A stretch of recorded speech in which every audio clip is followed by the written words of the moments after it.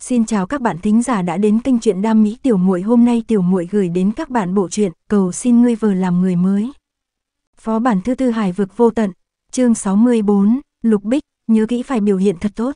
Đừng cậy mạnh, vẫn nên chú ý bảo vệ tốt bản thân. Mấy ngày này nên nghỉ ngơi đầy đủ, dưỡng sức, cũng có thể theo dõi phát sóng trực tiếp của những người khác, có nhiều tin tức vẫn có lợi hơn. Phẩy phẩy, vâng, tôi đã biết. Sau khi tiễn các vị đại lão, Lục Bích đi đến một chiếc xe hơi có biển số quân đội đậu ven đường, mở cửa xe và ngồi vào. Không gian trong xe rất rộng rãi, tư thế tài xế lái xe vô cùng chuẩn mực, Lục Nguyên Soái ở ghế sau đang nhắm mắt dưỡng thần. Đây là một đại lão với sức ảnh hưởng lớn trong quân đội của Đại Tần, mái tóc ông đã bạc một nửa, trên cằm có một tròm râu nhỏ, bộ dáng sắp xỉ Lục Bích. Nghe thấy tiếng cửa mở, ông không mở mắt, ngữ khi ẩn chứa một chút uy nghiêm, nói, ngồi ở phía sau. Tài xế rời mắt trộm nhìn tiểu thiếu gia nhà hắn, chỉ thấy tiểu thiếu gia mím môi, tựa hồ có chút bất đắc dĩ. Lục Bích ngồi vào bên cạnh Lục Nguyên Soái, xe chậm rãi khởi động và chạy đến một hướng nhất định. Lục Nguyên Soái mở mắt, hỏi, không có gì muốn nói với ông nội à? Lục Bích muốn nói lại thôi, cuối cùng, sức khỏe của ông nội gần đây thế nào? Lão tử vẫn ổn, Lục Nguyên Soái gần giọng, nhìn thấy gương mặt lạnh băng của đối phương liền giận sôi máu. Thẩm mỹ nhân, cháu nói xem cái tên này có dễ nghe hay không. Lục Bích, thiên sư cổ đại có một quy tắc bất thành văn, đó là không thể tiết lộ tên thật của mình, điều này cháu không biết sao. Lục Bích, mắt thấy sắc mặt đối phương thay đổi, ông lúc này mới vừa lòng mà hừ một tiếng. Xe hơi tiến vào một tòa biệt thự được bảo vệ nghiêm ngặt, Lục Bích tạm biệt ông nội sau đó xuống xe, trở lại phòng mình. Người hầu nhận được thông báo nên đã sạc đầy điện thoại. Lục Bích khởi động thiết bị, sau đó trả lời tất cả tin nhắn từ các đội viên. Lúc này, lực chú ý của hắn dừng lại trước một ứng dụng trên màn hình. Đầu ngón tay chợt dừng rồi sau đó nhấp vào ứng dụng, màn hình thay đổi, Lục Bích bình tĩnh trầm ổn tiến hành một loạt thao tác, cho đến lúc thấy phòng phát sóng trực tiếp thuộc về, Mỹ Nhân Khuynh Thành thấy khi thấy được mặt của thẩm Mỹ Nhân. À, Mỹ Nhân tôi tới rồi, một ngàn nụ hôn. Hôm nay Mỹ Nhân vẫn như cũ Mỹ Nhan thịnh thế, liếm liếm màn hình suy đoán mỹ nhân trong vòng một phút nhất định sẽ đi tìm đại thần, các chị em thế nào? 23.333 tôi đoán 30 giây. Phẩy phẩy, sao lại thế này, Trần Cách cũng đã xuất hiện, đại thần đâu? Người bên cạnh Trần Cách là ai? Báo cáo, bên này mới vừa tìm hiểu xong tình huống trở về, bên cạnh Trần Cách chính là anh trai lúc trước cùng hắn thông quan hai phó bản. Tôi chỉ muốn biết đại thần đâu rồi, đại thần đi đâu, vì sao không tổ đội, tôi vừa mới trở thành fan hâm mộ CP này, không lẽ nó đã bị hủy rồi y. Đại thần mau trở lại đi, anh không ở đây Mỹ nhân chịu rất nhiều khổ sở đó QAQ. Vào buổi chiều, luồng khí nóng và ẩm ướt của gió biển mang theo vị mặn thổi tới, một chiếc thuyền đánh cá màu vàng dì xét dừng lại trên biển, đung đưa theo những cơn sóng dập dềnh. Đứng giữa hàng tá người chơi trên bong tàu, thẩm thanh thành cao mày sờ mặt, không khí quá ẩm ướt, cảm giác trên người nhớp nháp khiến cậu rất khó chịu, một lớp dì xét rất dày dưới chân bong tàu được hình thành do quá trình rửa đi rửa lại nhiều lần của nước biển, một số chỗ không được quét sạch còn sót lại một vài miếng vải cá, phiêu tán trong gió tỏa ra mùi tanh nồng. Trần Cách cùng Thẩm Thanh Thành tổ đội tiến vào phó bản hòa thuận vui vẻ tươi cười rạng rỡ đến bên cạnh cậu, Nhạc Tùng Lâm nói, chiếu theo quy tắc thường thấy ở các màn chơi khác, cấp độ trung bình, hai loại phương thức thông quan, thời hạn 20 ngày. Lúc này một cơn sóng ập tới, chiếc thuyền đánh cá rung lắc dữ dội, Sắc mặt thẩm thanh thành trên thuyền đột nhiên trở nên tái nhợt, vội vàng với tay bắt lấy người bên cạnh để ổn định cơ thể. Sau khi đứng vững, cậu nhìn cánh tay trần cách mà bản thân vừa bắt lấy, buông tay ra sau đó thở dài thườn thượt. Tên này tay nhỏ chân nhỏ, thấy sắc mặt đối phương khó coi, Trần Cách lo lắng nói, thẩm ca, anh không bị say sóng phải không? Thẩm thanh thành hiểu khi vô lực mà ngẩng đầu liếc đối phương một cái, a hát. Trần Cách chạy nhanh lại đỡ lấy cậu, khẩn trương hỏi, mức độ thế nào? Là nhẹ, bình thường, hay là nặng? Thẩm thanh thành, thực không may, là nặng đó, anh cảm thấy hơi chóng mặt. Nhạc Tùng Lâm nghe xong cũng có chút lo lắng, hay, đội trưởng đặc biệt bảo mình phải chiếu cố thẩm mỹ nhân cẩn thận, lúc này đang trôi nổi trên mặt biển, mình đi đâu kiếm thuốc say sóng đưa đối phương đây. Trên đầu mây đen dày đặc, gió biển càng thổi càng lớn, một cơn mưa to sắp tới rồi.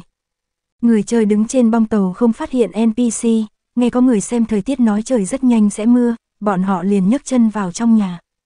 Trong đại sảnh, một người đàn ông mặc quần cao su chống nước màu đen đang ngồi trên bàn ăn với khuôn mặt buồn bã, một bên lau mặt một bên thở ngắn than dài. Thấy bọn họ tiến vào người kia một chút cũng không kinh ngạc, tinh thần xa suốt cất giọng nói, thuyền trưởng nói cơn bão tối hôm qua đã làm hỏng hai động cơ trên thuyền. Hiện tại thuyền chúng ta đang trôi nổi giữa biển, chỉ có thể đợi một vài ngày nữa mới đón gió. Có người chơi nhanh mồm nhanh miệng hỏi, không có động cơ dự phòng sao? Tôi nói hai cái, tất nhiên đã tính luôn động cơ dự phòng vào, người đàn ông biểu tình kỳ quái giải thích, nói tiếp, thức ăn trên thuyền không nhiều lắm, vùng biển này cũng không có nhiều loại cá, mọi người trong mấy ngày này đành chịu khó một chút. Nghe đến đây tất cả người chơi đã hiểu đại khái, thân phận hiện tại của bọn họ là công nhân thuyền đánh cá. Thấy NPC này không tiết lộ bất kỳ thông tin hữu ích nào, Nhạc Tùng Lâm đã chủ động hỏi có điều gì cần chú ý không? Chúng tôi không thể liên lạc với mọi người trên bờ để được giúp đỡ. Sắc mặt người đàn ông đột biến, thấy có một cánh cửa, Nhạc Tùng Lâm hỏi tiếp các thuyền viên khác đâu? Thuyền trưởng đâu? Anh hỏi nhiều như vậy để làm gì?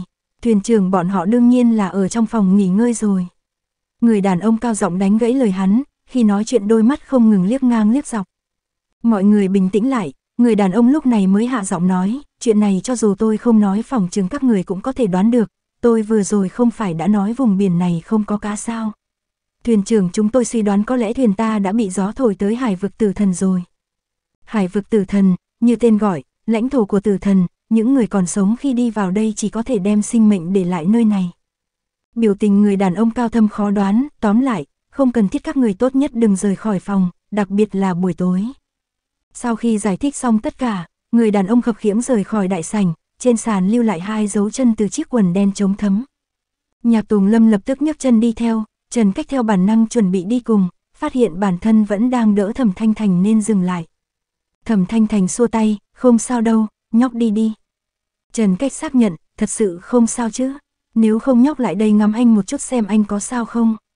Thẩm Thanh Thành cười tùm tìm hỏi. Trần Cách lập tức thức thời rời đi. Đám người vừa đi, cậu thu hồi nụ cười, giơ tay xoa xoa huyệt thái dương, đỡ tường chậm chậm đuổi theo. Thẩm Thanh Thành nhìn thấy Nhạc Tùng Lâm và Trần Cách ở cánh cửa nhỏ dẫn đến cabin dưới của con thuyền. Họ đang cúi xuống nhìn vào cánh cửa nhỏ đó. Thấy cậu đã đến, Trần Cách tự giác đi đến bên cạnh đỡ người. Nhạc Tùng Lâm giải thích, phía dưới hẳn là nơi ở của thuyền viên, hầu hết chúng ta cũng sẽ ở dưới. Dùng từ cũng, có nghĩa là vừa rồi đối phương đã xuống dưới thăm dò. Thẩm Thanh Thành gật đầu, lần này phó bản không cung cấp hành lý, trước tiên chúng ta nên đi xuống và chọn một căn phòng tốt. Nhạc Tùng Lâm nghĩ rằng đối phương muốn phát biểu lời nói gì đó vô cùng hùng hồn. Phòng thuyền viên trên thuyền đánh cá tất nhiên sẽ không có phòng tắm riêng. Phòng dành cho thẩm thanh thành chính là gian tốt nhất, nhưng cũng tận bốn người một phòng, hai chiếc giường tầng bằng sắt ở bên trái và phải. Hành lang trước phòng vô cùng hẹp, chiếc đèn chùm treo lủng lẳng trên đầu phát ra ánh sáng màu vàng nhạt. Ánh sáng mờ ảo, như bị chặn bởi thứ gì đó vô hình, chỉ có thể chiếu sáng một không gian nhỏ. Thẩm Thanh Thành bước xuống, nhìn phía gian phòng rộng rãi sạch sẽ nhất đi vào, một cỗ hơi ẩm tức khắc ập vào mặt. Cậu hít hít mũi, thậm chí có thể ngửi thấy mùi ẩm mốc trên chăn cùng mùi tanh của cá trên bong tàu.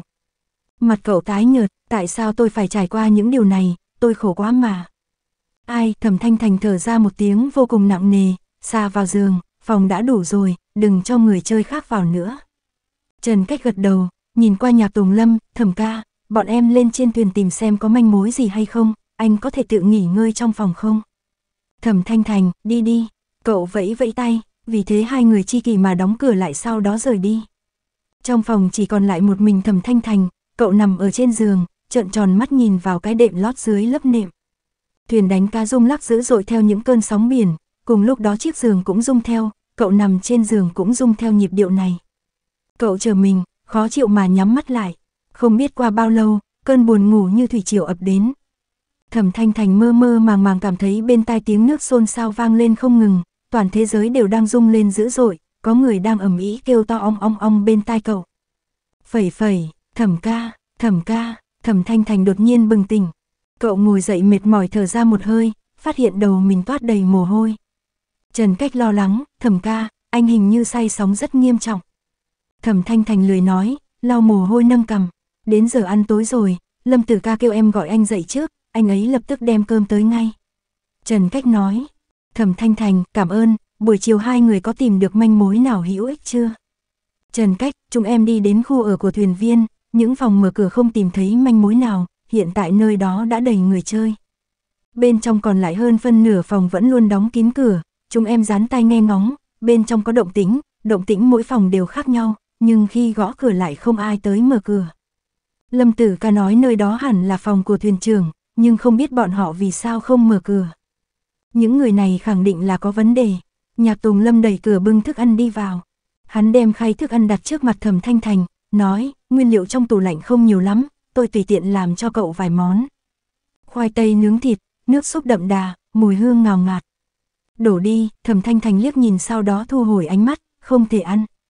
Nhạc Tùng Lâm kinh ngạc một chút, nhưng ngoài dự đoán lại không phản bác, cũng không có chút bất mãn nào. Cậu không có ý kiến gì à? Thẩm Thanh Thành cảm thấy kỳ quái. Vâng, đổi, đại thần bảo tôi trên phương diện ăn uống nên nghe theo cậu, nhạc Tùng Lâm cợt nhà nói, hơn nữa nếu thịt không thể ăn, chỉ có bánh mì cùng nước lọc thôi. Đối phương không nói tới Lục Bích còn tốt, nhắc tới Lục Bích, Thẩm Thanh Thành bắt đầu lần thứ ba thở dài, đặc biệt sau khi nghe đến bánh mì và nước lọc. Đồ ăn trong lâu đài cổ trước đó cũng không thể ăn, nhưng lúc đó Lục Bích sẽ chuẩn bị cho cậu thịt nướng và trái cây. Thịt nướng thơm nức, trái cây chua ngọt. Ai, tiểu tử, không phải tôi ghét bỏ anh đâu. Cậu chờ mình xà vào trên giường, chán đầy mồ hôi, môi trở nên tái nhợt, bán sống bán chết mà nói tôi nhớ Lục Bích. Ngữ khí mặc danh lộ ra một chút ủy khuất. chương 65. Mỹ nhân nói cậu ấy nhớ đại thần, ngao ngao. Mặc dù chỉ có một mình Mỹ nhân trong phó bản thế nhưng tôi đã thấy vị ngọt của đường rồi. Không, lần này không có đại thần, phải gọi là đường trộn thủy tinh mới đúng. Trần Cách hỏi mình và Nhạc Tùng Lâm không phải là người sao T, T233333. Thông báo chính thức, tôi tuyên bố kể từ bây giờ, Mỹ nhân cùng đại thần hoàn toàn bị khóa chết, chìa khóa tôi nuốt rồi, đã bị tiêu hóa. Sai sóng thật sự rất khó chịu, đau lòng thay Mỹ nhân, lần đầu tiên thấy bộ dáng không có tinh thần của Mỹ nhân như vậy. Vốn dĩ đã khó chịu, lại còn chỉ có thể ăn bánh mì cùng nước lọc, quá thảm đi. Thức ăn lại không thể ăn, thẩm thanh thành nằm đến cả người đều buồn rùn, nghĩ mình nên đứng lên hoạt động thân thể một chút, liền gian nan đi theo nhạc Tùng Lâm và Trần Cách bỏ đến nhà ăn trên lầu ăn cơm. Trong nhà ăn có rất nhiều người chơi cùng mục đích với họ. Những người lười nấu ăn đã lấy bánh mì và nước lọc sau đó rời đi, trong khi những người chơi đặc biệt hơn thì chen chúc vào bếp nhỏ. Chỉ có hai bình ga trong phòng bếp, thẩm thanh thành lười biếng dựa vào cửa sổ, cửa kính vuông vức, cậu đưa mắt ra xa ngắm nhìn mặt biển, cắn từng ngụm bánh mì. Bánh mì khô cứng vô vị, là loại bánh mì phổ biến được bán đại trà, việc vừa ăn vừa ngắm phong cảnh cũng không khiến cậu cảm thấy tốt hơn. Nhạc Tùng Lâm vừa nhai bánh mì vừa nói, mây đen nhiều như vậy, buổi tối chắc hẳn sẽ có bão. Nói xong hắn nhớ tới người đang say sóng đứng bên cạnh mình. Hiện tại thuyền đánh cá dừng lại không nhúc nhích mà đối phương đã thành như vậy, buổi tối một hồi phong ba bão tố, sóng biển thổi bay, thẩm mỹ nhân chẳng phải là sẽ bị say tới hôn mê luôn sao.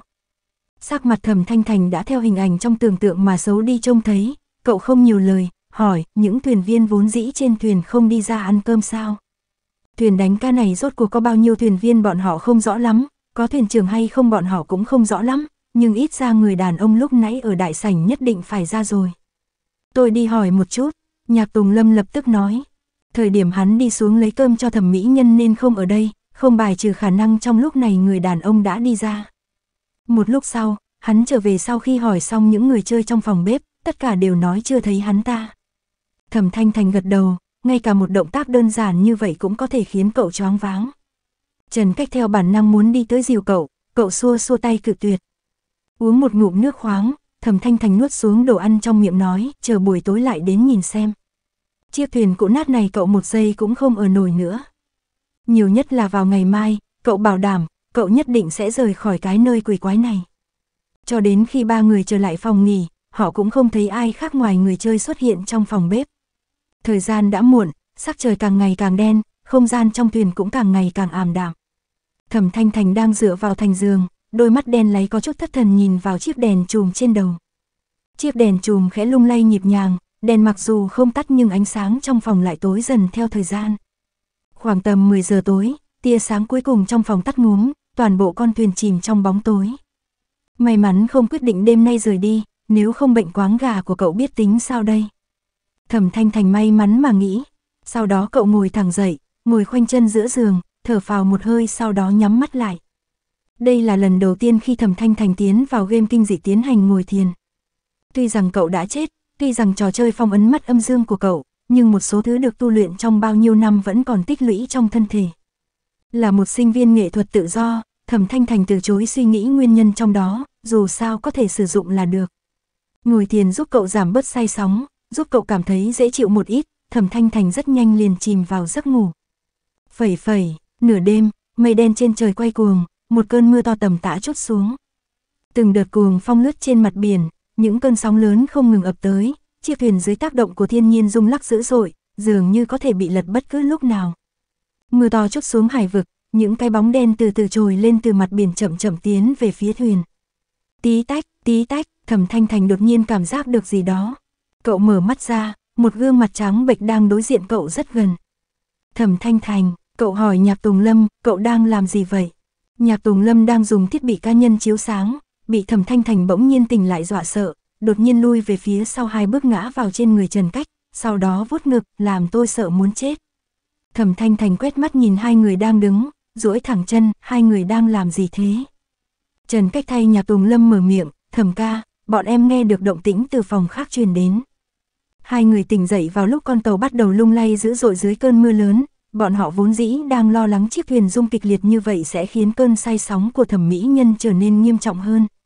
Không ngờ tới khi vừa bật thiết bị lên chiếu sáng, thẩm mỹ nhân lại đang trong một loại tư thế kỳ quái nhắm mắt ngồi trên giường, hoàn toàn bất tỉnh. Lúc này các phòng khác lại truyền đến động tĩnh khác nhau, âm thanh rất mơ hồ. Hai người tập trung chú ý lắng nghe trong chốc lát, không nghe ra là gì, bèn cùng nhau đưa mắt nhìn chằm chằm vào thẩm mỹ nhân. Bọn họ biết tư thế này gọi là ngồi thiền, nhưng họ không hiểu tại sao thẩm mỹ nhân lại ngủ trong tư thế mà một số người cổ đại sẽ làm. Trong lòng tò mò đến ngứa ngáy, Trần Cách hỏi, thẩm ca, anh vừa rồi là đang ngủ sao? Thẩm Thanh Thành trước khi vào màn chơi này đã cùng Lục Bích nói chuyện một lúc, lập tức hiểu tại sao Trần Cách lại hỏi câu này. Đại Tần không có thiên sư, các thông tin có liên quan đến thiên sư cũng vô cùng ít ỏi, đa số chỉ có thể thông qua lịch sử lưu truyền lại, một số tác giả đã sửa đổi và viết chúng thành tiểu thuyết. Đối với người Đại Tần mà nói, thiên sư chính là giống như cách nói mà người dân Hoa Hạ hay gọi, dị năng giả. Cậu không giải thích, không khác lắm đi, ngồi thiền trình độ thượng thừa cũng coi như là nghỉ ngơi. Trần Cách nghe xong lòng lại càng hiếu kỳ, anh, vì sao anh lại dùng loại này tư thế mà ngủ? Cậu lại khoa chân múa tay diễn tả. Sau khi ngồi thiền xong, tâm trạng thẩm thanh thành cũng tốt hơn, liền cười cười phun ra bốn chữ, nói, dự trữ năng lượng. Trần Cách, Nhạc Tùng Lâm, dự trữ năng lượng để làm gì chứ? Anh không say sóng chúng em đã cảm ơn trời đất rồi đó. Mưa to cho đến sau nửa đêm mới ngừng lại, những âm thanh kỳ quái lẫn trong tiếng mưa xối xả đột nhiên dừng lại sau khi trời sáng. Chiếc đèn chùm khôi phục chức năng của nó, tận chức tận trách chiếu sáng khoảng không gian trong phòng. Thẩm Thanh Thành tỉnh lại sau rung chấn cả đêm, vào lúc hừng đông cơn say sóng không những đỡ hơn, ngược lại càng thêm trầm trọng. Hiện tại trên mặt cậu một chút huyết sắc cũng không có, Trần Cách vô cùng lo lắng, nói, nếu không thầm ca hay là anh vẫn nên ở trong phòng nghỉ ngơi đi, chúng em đi lên lấy đồ ăn, thuận tiện hỏi thăm người chơi khác tình huống tối hôm qua. Tối hôm qua động tĩnh không nhỏ, bọn họ suy đoán rất có khả năng có người chơi đã chết. Không, thẩm thanh thành không nghe đối phương, cậu đỡ thành giường đứng lên, anh muốn ăn cá. Ra biển không ăn cá chẳng phải là một tội rất lớn sao. Vào sáng ngày thứ hai trong phó bản, tất cả người chơi không hẹn mà cùng nhau tụ tập trong nhà ăn.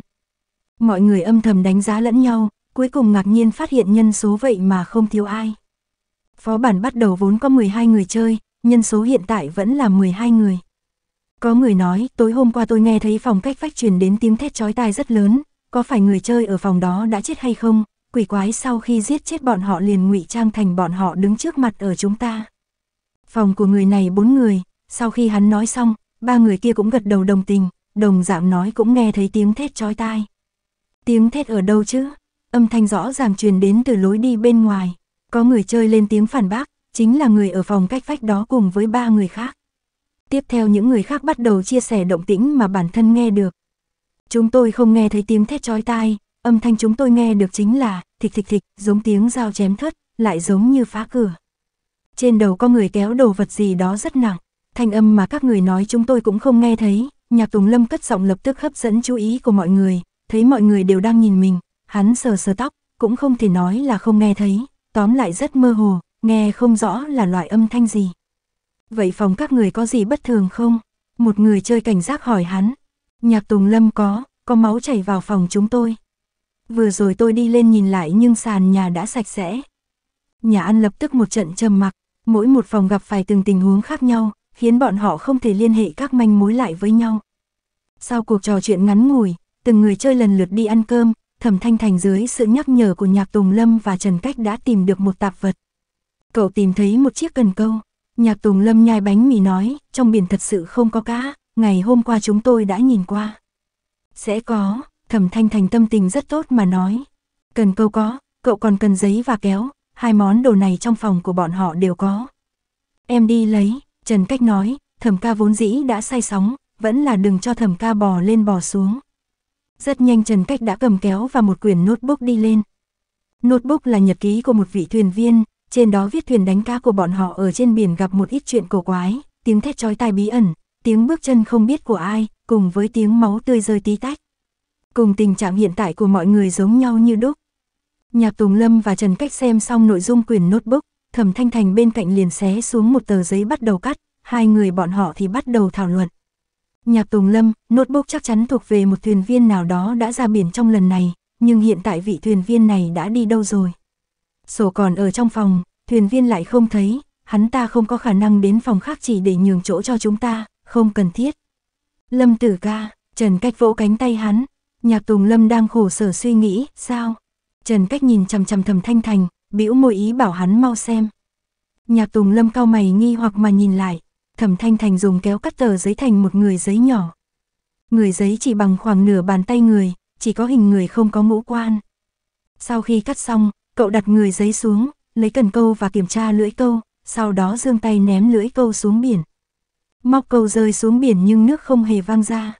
Nhạc Tùng Lâm vội vàng nói, quên treo mồi rồi.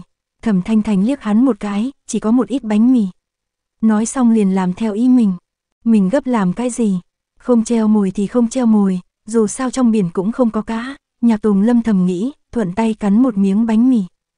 Thẩm Thanh Thành bị cho là câu không được cá, đem người giấy trải trên lòng bàn tay, tay kia viết những biểu tượng kỳ quái không thể đọc lên trên người giấy. Sau khi làm xong, cậu đem người giấy đặt lên cán câu, nói, đừng lười biếng, mau làm việc, mau đi bắt cá đi. Ăn no mới có sức lực làm việc, người giấy bỗng nhiên giật giật, sau đó xoay người ngồi dậy, nó di chuyển chân tay vô cùng linh hoạt, đứng dậy cúi đầu thật sâu trước mặt thẩm thanh thành, sau đó trượt xuống biển dọc theo cần câu. Nhạc Tùng Lâm, Trần Cách, hai người tôi nhìn anh, anh nhìn tôi, hoài nghi nhân sinh. chương 66, tôi là ai, đây là đâu, đã xảy ra chuyện gì, tôi hoa mắt rồi sao? Thật sự quá vi diệu rồi, sướng sờ. Người giấy có thể cử động, đây là nền khoa học gì vậy?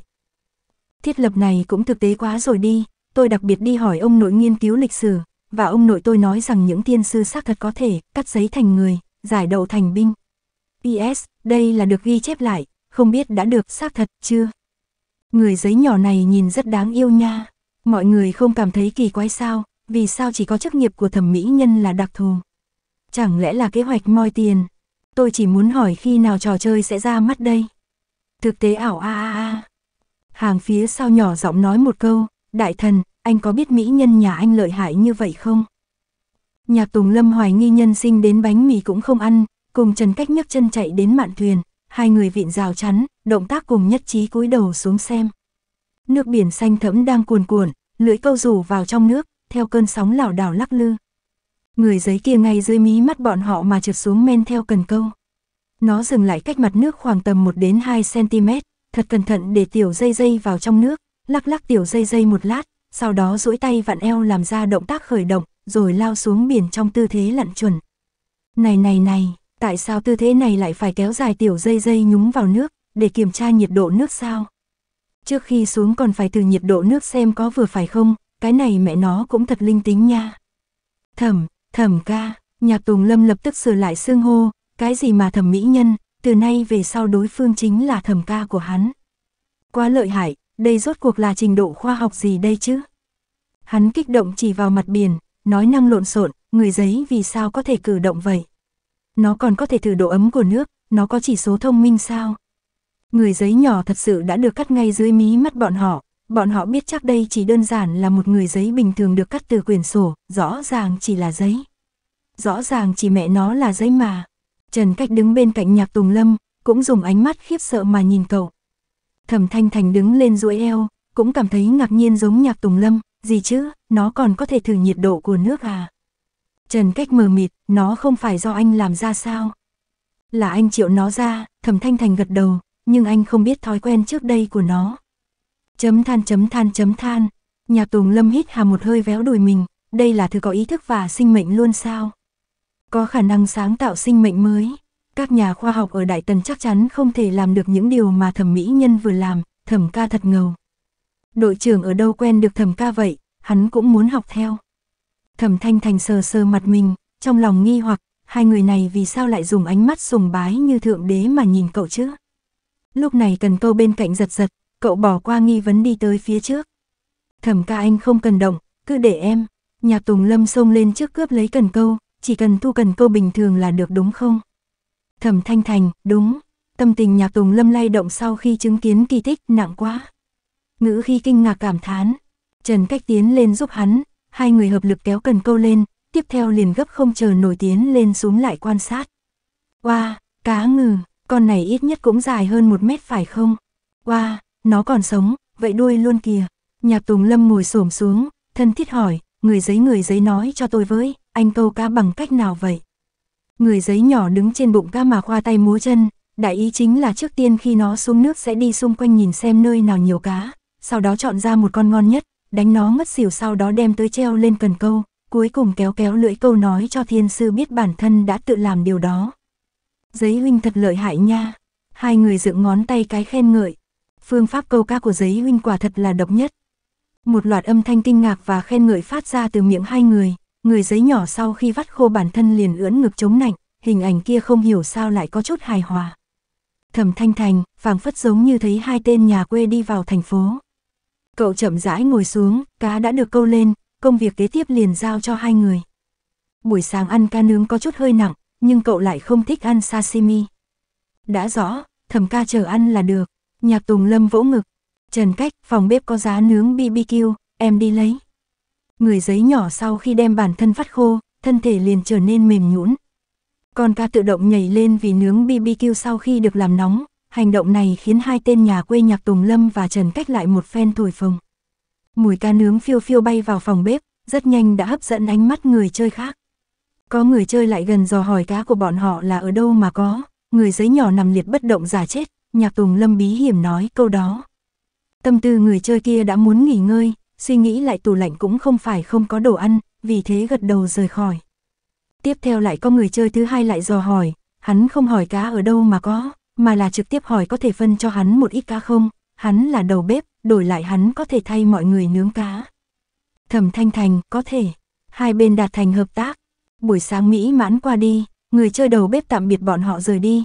Nhạc Tùng Lâm nói, thẩm ca anh về phòng nghỉ ngơi đi, em cùng Trần Cách đi tìm manh mối. Không cần phiền phức như vậy. Thẩm Thanh Thành đứng dậy nói.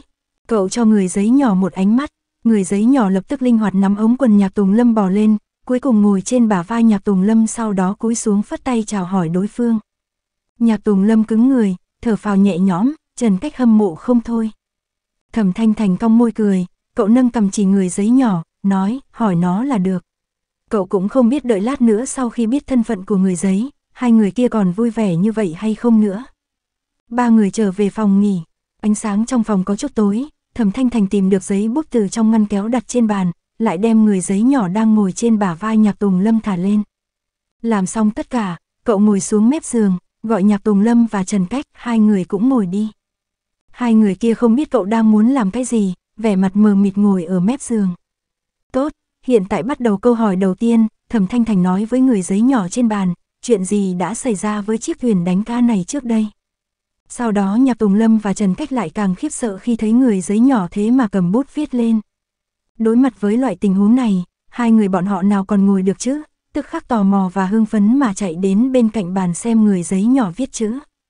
Người giấy siêu siêu vẹo vẹo viết chữ, buổi tối trước ngày hôm qua, người cá đã tạo ra bão táp hiếm thấy, sau đó bò lên thuyền.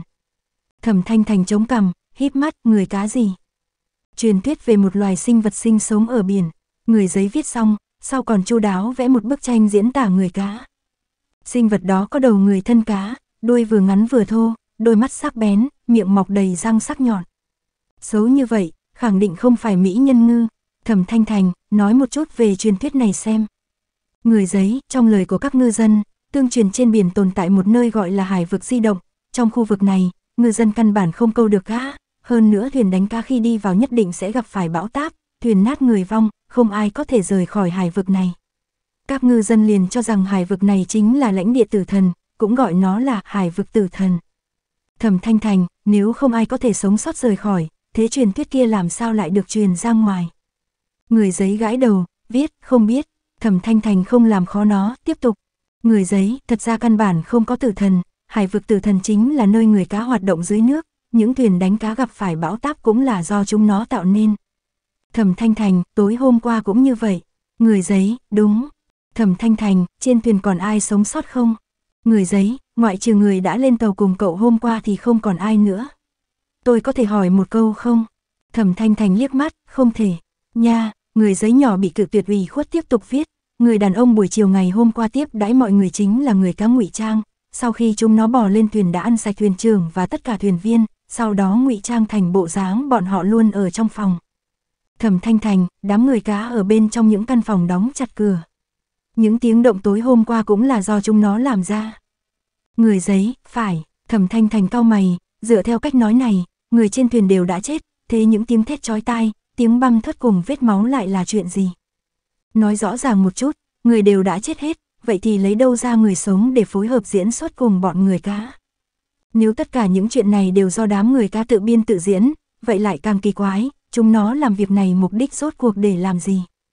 Cậu đem vấn đề này hỏi người giấy, người giấy trả lời là không biết. Ai, xem ra vẫn nên tìm đương sự người cá hỏi rõ. Thẩm Thanh Thành nhắm mắt cảm nhận một chút, lấy ngón tay điểm giữa thái dương lẩm bẩm niệm gì đó. Một lát sau, cậu mở mắt ra. Thẩm ca, chúng ta có phải thông quan rồi không? Nhạc Tùng Lâm hốt hoảng hỏi, biểu tình như là đang nằm mơ. Thẩm Thanh Thành, sắp rồi, một chút nữa. Nhạc Tùng Lâm hốt hoảng gật đầu. Đội trưởng nhất định không biết mình đã trải qua cái gì, chờ đội trưởng trở về mình muốn nói cho hắn biết, mình gặp thần rồi. Cả hai mất một lúc mới bình tĩnh lại, sau khi miễn cưỡng bình tĩnh, bọn họ đã nhận được sự cho phép thẩm thanh thành đem người giấy mượn đi hỏi chuyện. Chẳng hạn như là, anh có tên không? Tên là gì? Năm nay bao nhiêu tuổi? Là nam hay nữ? Công việc là gì? Người giấy liền đáp có, Đặng Quang Vĩ, năm nay 37, nam, trước khi chết là thuyền viên trên thuyền này. Hai người sợ hãi cả kinh, không chờ hai người kịp phản ứng, phanh cửa phòng bị đá văng, một sinh vật hình người bị ném một cách thô bạo vào phòng. Sinh vật hình người có cái đuôi ngắn, đôi mắt quắc sáng, nó vùng vẫy trên sàn nhà, dương cái miệng mọc đầy răng nanh kêu, tê tê, uy hiếp đám người thẩm thanh thành. Nhạc Tùng Lâm lập tức lấy đạo cụ, biểu tình nghiêm túc chuẩn bị đi chế phụ đối phương, kết quả phát hiện đối phương đang ra sức vùng vẫy nhưng vẫn nằm nguyên vị trí, giống như có thứ gì vô hình đang áp chế sinh vật đó. Thẩm ca, hắn trần chờ Thẩm thanh thành, đừng khẩn trương, không có gì đâu.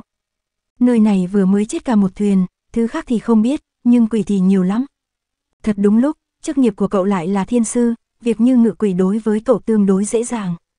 Thẩm Thanh Thành ngồi xổm trước mặt người cá quan sát một chút, một số bộ phận trên cơ thể người cá đã bị chóc ra khi bị bắt tới đây, nhưng việc quỷ dị chính là miệng vết thương thế nhưng không đổ máu. Cậu làm lơ trước biểu tình giữ tận nhe răng trợn mắt hung ác thị uy của con cá ngu ngốc trước mặt, triệu ra kiếm gỗ đào, thành phẩm được làm từ đạo cụ sinh hoạt. Dùng kiếm gỗ đào chĩa vào chán người cá, cậu nói, nói đi, mục đích tối hôm qua các ngươi làm ra những động tĩnh là gì? Bởi vì, đồ ăn, có những cảm xúc tiêu cực sợ hãi sẽ càng ngon hơn.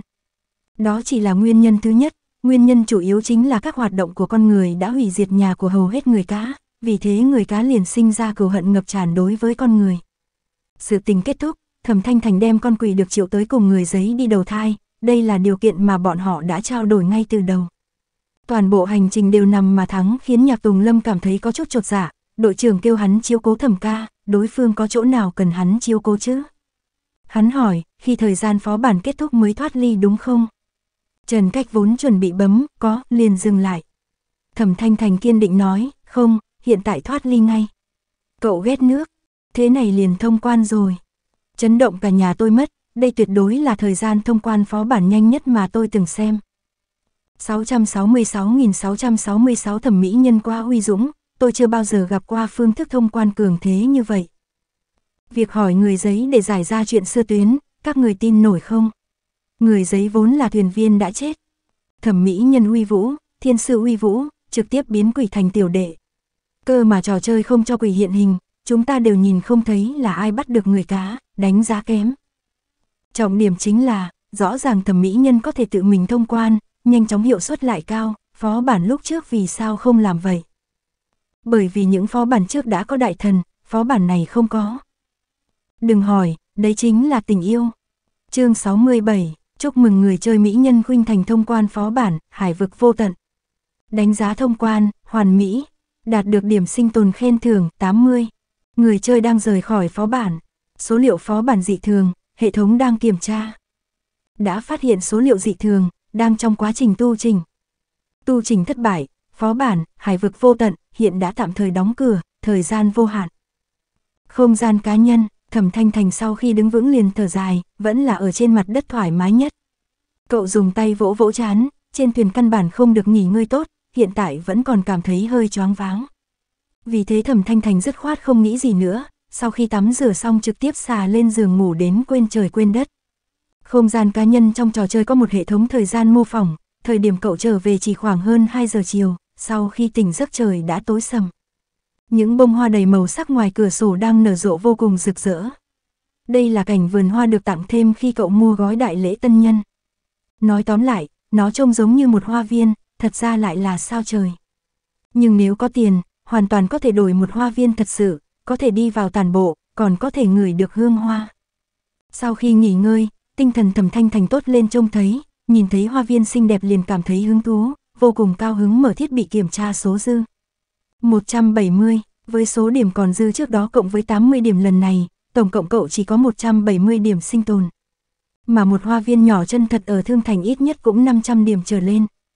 Thẩm Thanh Thành, quên đi, không xứng. Cậu rời khỏi Thương Thành, sau đó click mở danh sách bạn bè, Trần Cách và Nhạc Tùng Lâm gửi cho cậu hơn 10 tin nhắn, thời gian hiển thị là mấy giờ trước, hẳn là thời điểm vừa trở lại không gian liền gửi tin nhắn cho cậu. Đợi lát nữa trả lời, cậu tự nhủ, cậu click mở tài khoản Lục Bích, màu xám. 30 ngày lâu như vậy sao, Lục Bích khi nào mới có thể trở về đây? Những ngày không thể ôm đùi thật vô nghĩa. Thẩm Thanh Thành thất thần gửi tin nhắn cho đối phương, thông qua phương thức này phát tiết cảm xúc bản thân. Mỹ nhân khuynh thành, một ngày không gặp, như cách tam thu gạch dưới, z, gạch dưới. Mỹ nhân khuynh thành, chúng ta đã 6 năm không gặp, lục đại ca à. Mỹ nhân khuynh thành, lục bích, ca ca, anh đâu rồi? Tích tích, nhận được thì trả lời. Bảy, ờ, lại đây. Sao? Thẩm thanh thành ngồi bật dậy, mở to hai mắt nhìn chằm chằm câu trả lời bên dưới. Cậu liên tục xác nhận bản thân không nhìn lầm, nhưng chính là không nhìn lầm cậu mới khiếp sợ. Lục Bích đã trở lại, Lục Bích đã trở lại, Mỹ nhân khuynh thành, Lục Bích. Đối diện rất nhanh đã trả lời, sao lại không gọi ca ca. Thẩm Thanh Thành rất nghe lời, Mỹ nhân khuynh thành, Lục Bích ca ca, anh đã trở lại. Bảy, ừ, tới đây. Người chơi bảy mời ngài tiến vào không gian cá nhân trò chơi của hắn. Có không? Cậu nhất thời không biết Lục Bích, ừ, là đáp lại cách xưng hô hay là trả lời câu hỏi của cậu. Như thế nào sau một chuyến đi, khi trở về Lục Bích lại tỏa ra mùi gai thế? Mùi gai, cái từ hình dung này không phải luôn được dùng trên người cậu sao? Thẩm Thanh Thành trong đầu không ngừng suy nghĩ, ngón tay bấm vào có.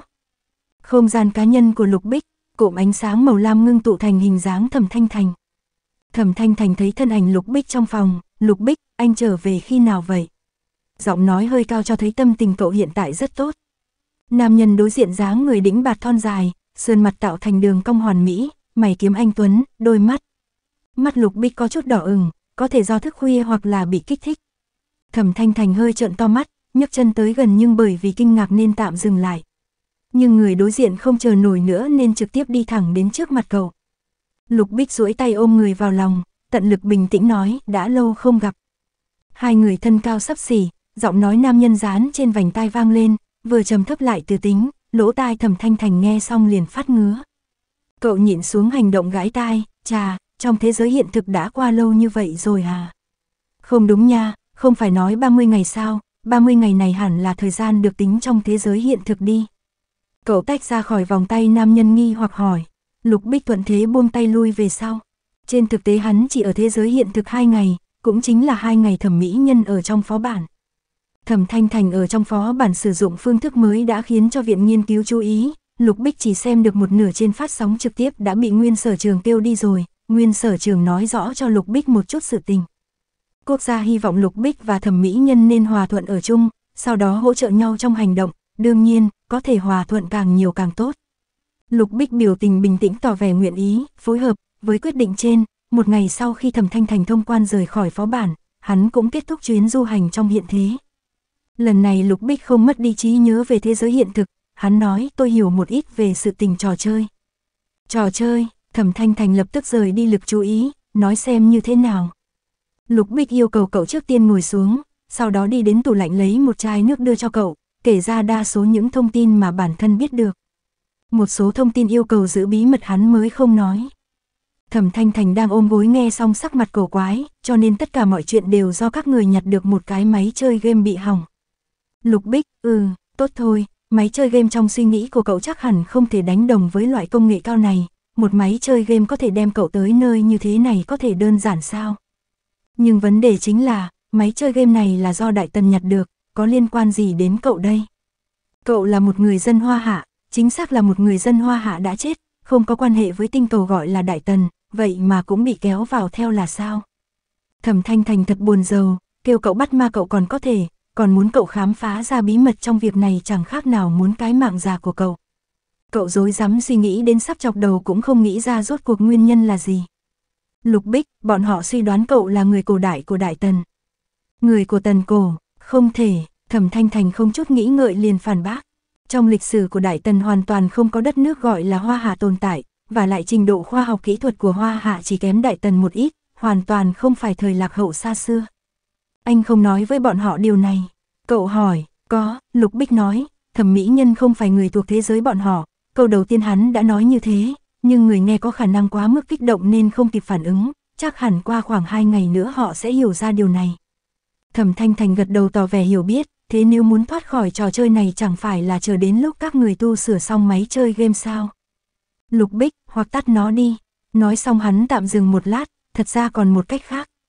Thẩm Thanh Thành, cách gì? Lục Bích quay đầu nhìn cậu, máy chơi game trong thế giới của cậu có sử dụng được không? Chuẩn bị chém đinh chặt sắt phủ định lời đối phương, Thẩm Thanh Thành há miệng thở dốc, không thể phát ra âm thanh. Máy chơi game sử dụng được hay không? Việc này cậu không thể nói được. Cậu là một người dân hoa hạ, lại chạy đến một nơi đâu đâu cũng là người dân đại tần, có khi nào là đổ bộ sai địa điểm không? Cậu trần chờ, sử dụng hiện thế khoán là có thể trở lại thế giới của mình. Trên lý thuyết chính là như vậy, Lục Bích nói, muốn trở về nhìn xem. Tôi cũng muốn trở về, chỉ là sợ bản thân không thể trở về được. Thẩm Thanh Thành do dự trong chốc lát, ôm gối nói, chờ chút nữa đi. Chờ một chút, chờ sau khi cậu chuẩn bị tốt.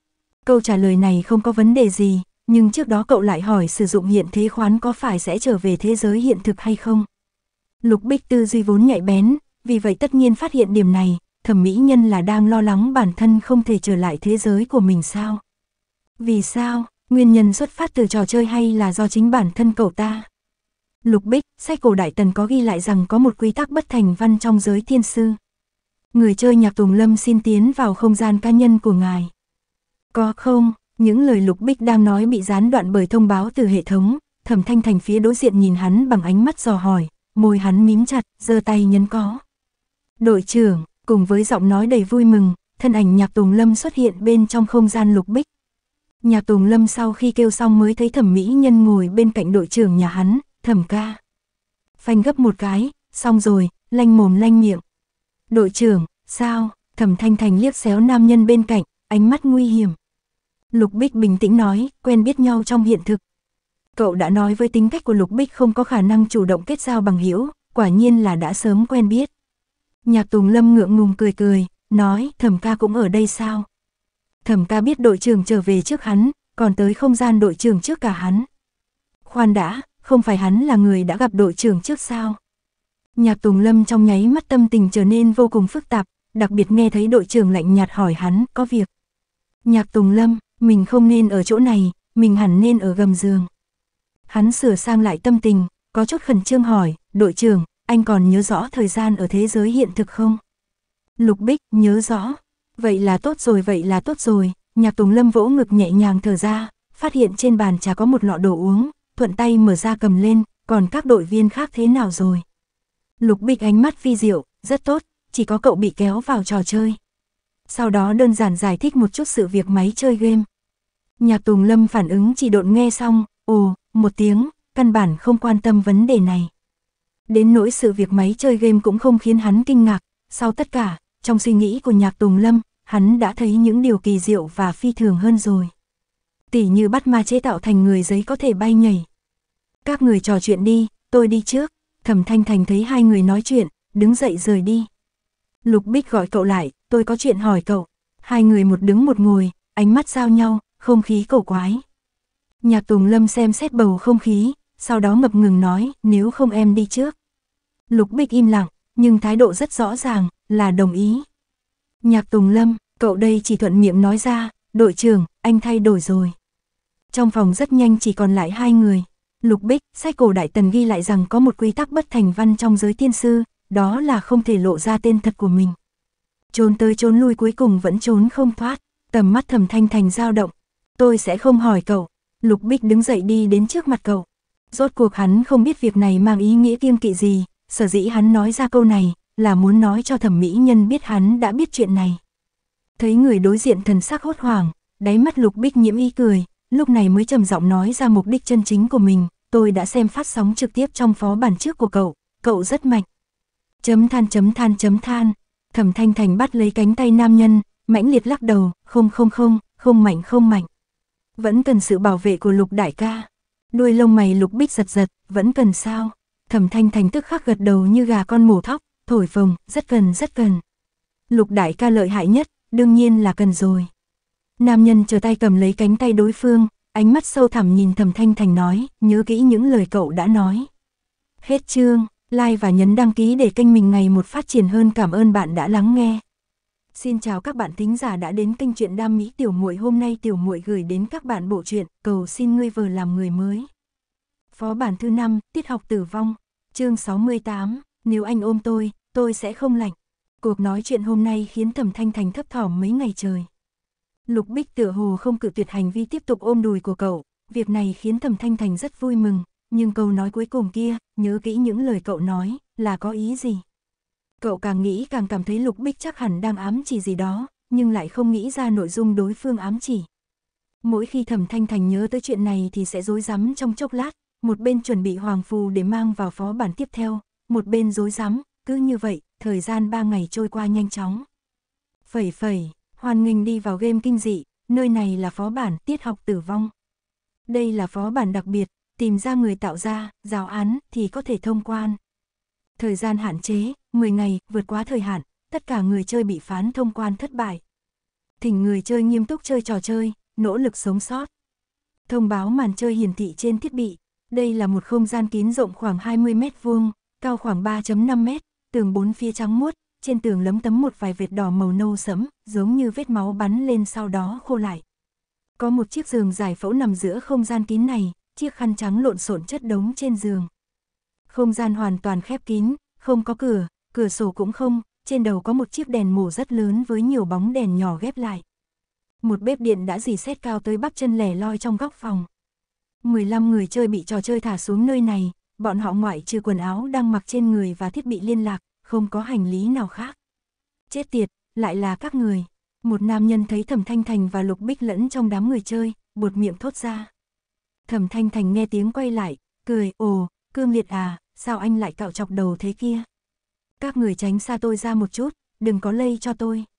Cạo đầu là do những lời chúc phúc lần trước khiến hắn cảm thấy có lỗi với lương tâm, nếu còn như thế một lần nữa, hắn cũng chỉ có thể. Nghĩ đến đây sắc mặt hồng cương liệt đại biến, lùi về sau hai bước. Nhạc Tùng Lâm và Trần Cách đã tới hội hợp cùng Thẩm Thanh Thành với Lục Bích, nghe vậy kỳ quái nhìn đại hán đầu chọc ra sức trốn thật xa, có chuyện gì với người này vậy? Thẩm Thanh Thành, không có gì, phó bản trước đó có gặp qua, khả năng là đã hiểu lầm tôi với Lục Bích. Với trực giác tham gia quân ngũ nhiều năm, Nhạc Tùng Lâm tức thời im lặng, Trần Cách lại ngây ngốc hỏi, hiểu lầm việc gì? Hắn nói anh và Lục Bích rất xứng đôi. Thẩm Thanh Thành bắt đầu sờ cầm, nhìn lại cách cậu và Lục Bích ở chung, đùi cùng ôm đùi, hình như có điểm hợp lý. Dù sao nó cũng rất hài hòa. Trần Cách phát ngốc, đúng vậy, đây còn không phải sự thật sao. Phó bản đặc biệt, phó bản này nhìn qua rất kỳ quái, không gian nhỏ như vậy. Tên phó bản là Tiết học tử vong, tôi suy đoán khả năng có quan hệ với giáo viên hoặc là trường học đi. A a a a CP nhà tôi lại cùng nhau. bốn bỏ lên năm chính là ở bên nhau. Còn nữa còn nữa, phát sóng trực tiếp của đại thần khôi phục rồi. Nhịn không được muốn mở ra hình thức sâu ân ái sao. Lại là tổ đội, mỹ nhân thì không nói, chẳng lẽ việc này còn chưa đủ rõ ràng với đại thần. Các người xem đại thần trước giờ chơi trò chơi lâu như vậy, có khi nào cùng người khác lập tổ đội chưa? Cầu xin hai người nhanh yêu đương đi, trái tim tôi sắp không chịu được mặt cười. Lần này còn có hai tiểu ca ca nhạc Tùng Lâm và Trần Cách, thật giống hai vợ chồng mang trẻ con ra cửa chơi đùa. Ha ha ha ha huynh đệ thẳng nam xin nhận một lạy. Luôn chào đón, cảm ơn quan tâm. Tất cả người chơi giới thiệu ngắn gọn về bản thân dưới sự gợi ý của một người chơi nam, sau đó tản ra khắp nơi thăm dò, chủ yếu là tìm kiếm lối ra. Bất kể mục đích và khả năng của người chơi là gì, Thẩm Thanh Thành nghĩ rằng sẽ tốt hơn nếu ai đó sẵn sàng dẫn đầu vào lúc này, có còn hơn không? Không gian, lớn, như vậy, mọi người rất nhanh đã thăm dò xong. Bức tường này rất dày và chắc chắn, không có khoảng trống như khung cửa. Trên mặt đất cũng như vậy, bốn người Thẩm Thanh Thành lặng lặng đứng một góc quan sát tình huống, một luồng khí lạnh thổi qua, Thẩm Thanh Thành bỗng nhiên dùng mình. Lục Bích, nhiệt độ đang giảm xuống. Người chơi nam dẫn đầu tên Âu Hải Hành lập tức nhìn Lục Bích, hắn không hỏi Lục Bích vì sao lại nói như vậy, mà lại hỏi anh có thể giải thích không? Lục Bích cởi áo khoác, sau khi trùm lên người thẩm mỹ nhân mới cất giọng, đã 34 phút trôi qua kể từ lúc chúng ta tiến vào phó bản, nhiệt độ đại khái đã giảm xuống 2 độ. Âu Hải Hành hỏi lại, anh xác định, Lục Bích im lặng, Âu Hải Hành cười cười xin lỗi, xin lỗi, tôi chỉ muốn xác nhận một chút, nếu lời anh nói là sự thật, tôi đoán tiếp theo nhiệt độ sẽ tiếp tục giảm xuống, chúng ta tốt nhất nên nhanh chóng tìm lối ra càng sớm càng tốt. Nếu không mọi người đều sẽ bị đông chết. Âu Hải Hành là một nam nhân diện mạo nho nhã, khoảng tầm 30 tuổi, sống mũi đeo một cặp kính không viền, dáng vẻ cười xòa xin lỗi nhìn qua rất có thành ý. Mặc trên người áo khoác mang theo nhiệt độ của Lục Bích, Thẩm Thanh Thành do dự nhìn chằm chằm cánh tay bị lộ ra ngoài của Lục Bích. Lục Bích, tôi không lạnh. Nói xong lại bổ sung một câu, hiện tại không lạnh. Tố chất thân thể của Lục Bích tốt hơn so với cậu, điểm này trong lòng Thẩm Thanh Thành hiểu rõ, vì thế hơi thả lòng gật đầu, vậy khi nào anh lạnh thì nói cho tôi. Về phần nhạc Tùng Lâm và Trần Cách, bọn họ một thân chính khí, khẳng định sẽ không lạnh. Không ít người chơi hiểu được ẩn ý trong cuộc đối thoại giữa Âu Hải Hành và Lục Bích, bọn họ đồng loạt xông lên tranh giành chiếc khăn trải giường trên giường phẫu thuật. Âu Hải Hành cũng không ngăn cản, hắn đứng ra dẫn đầu vì như vậy thuận lợi cho việc thông quan hơn, chỉ cần không ảnh hưởng đến kết quả cuối cùng, những người khác làm gì hắn cũng không quan tâm. Một cuộc xung đột nhỏ xảy ra nhằm tranh đoạt chiếc khăn trải giường, cuối cùng khăn trải giường rơi vào tay đại hán cao to đầu chọc Hồng Cương Liệt. Hồng Cương Liệt ôm chặt cái khăn trong lòng như bảo bối, vô tình bắt gặp tầm mắt đang xem kịch vui của thẩm mỹ nhân trong góc phòng. Đứng bên cạnh Lục Bích, trên người lại mặc áo khoác của Lục Bích, vai sát vào nhau. Chấm than, a quá chói mắt, ha ha ha ha, nơi này có bếp lò. Rốt cuộc có người chơi nhớ tới nơi này có một bếp lò, vì vậy kinh hỉ kêu lên. Hắn nhanh chóng chạy đến kiểm tra, thấy trên bếp lò có ổ cắm và dây cắm.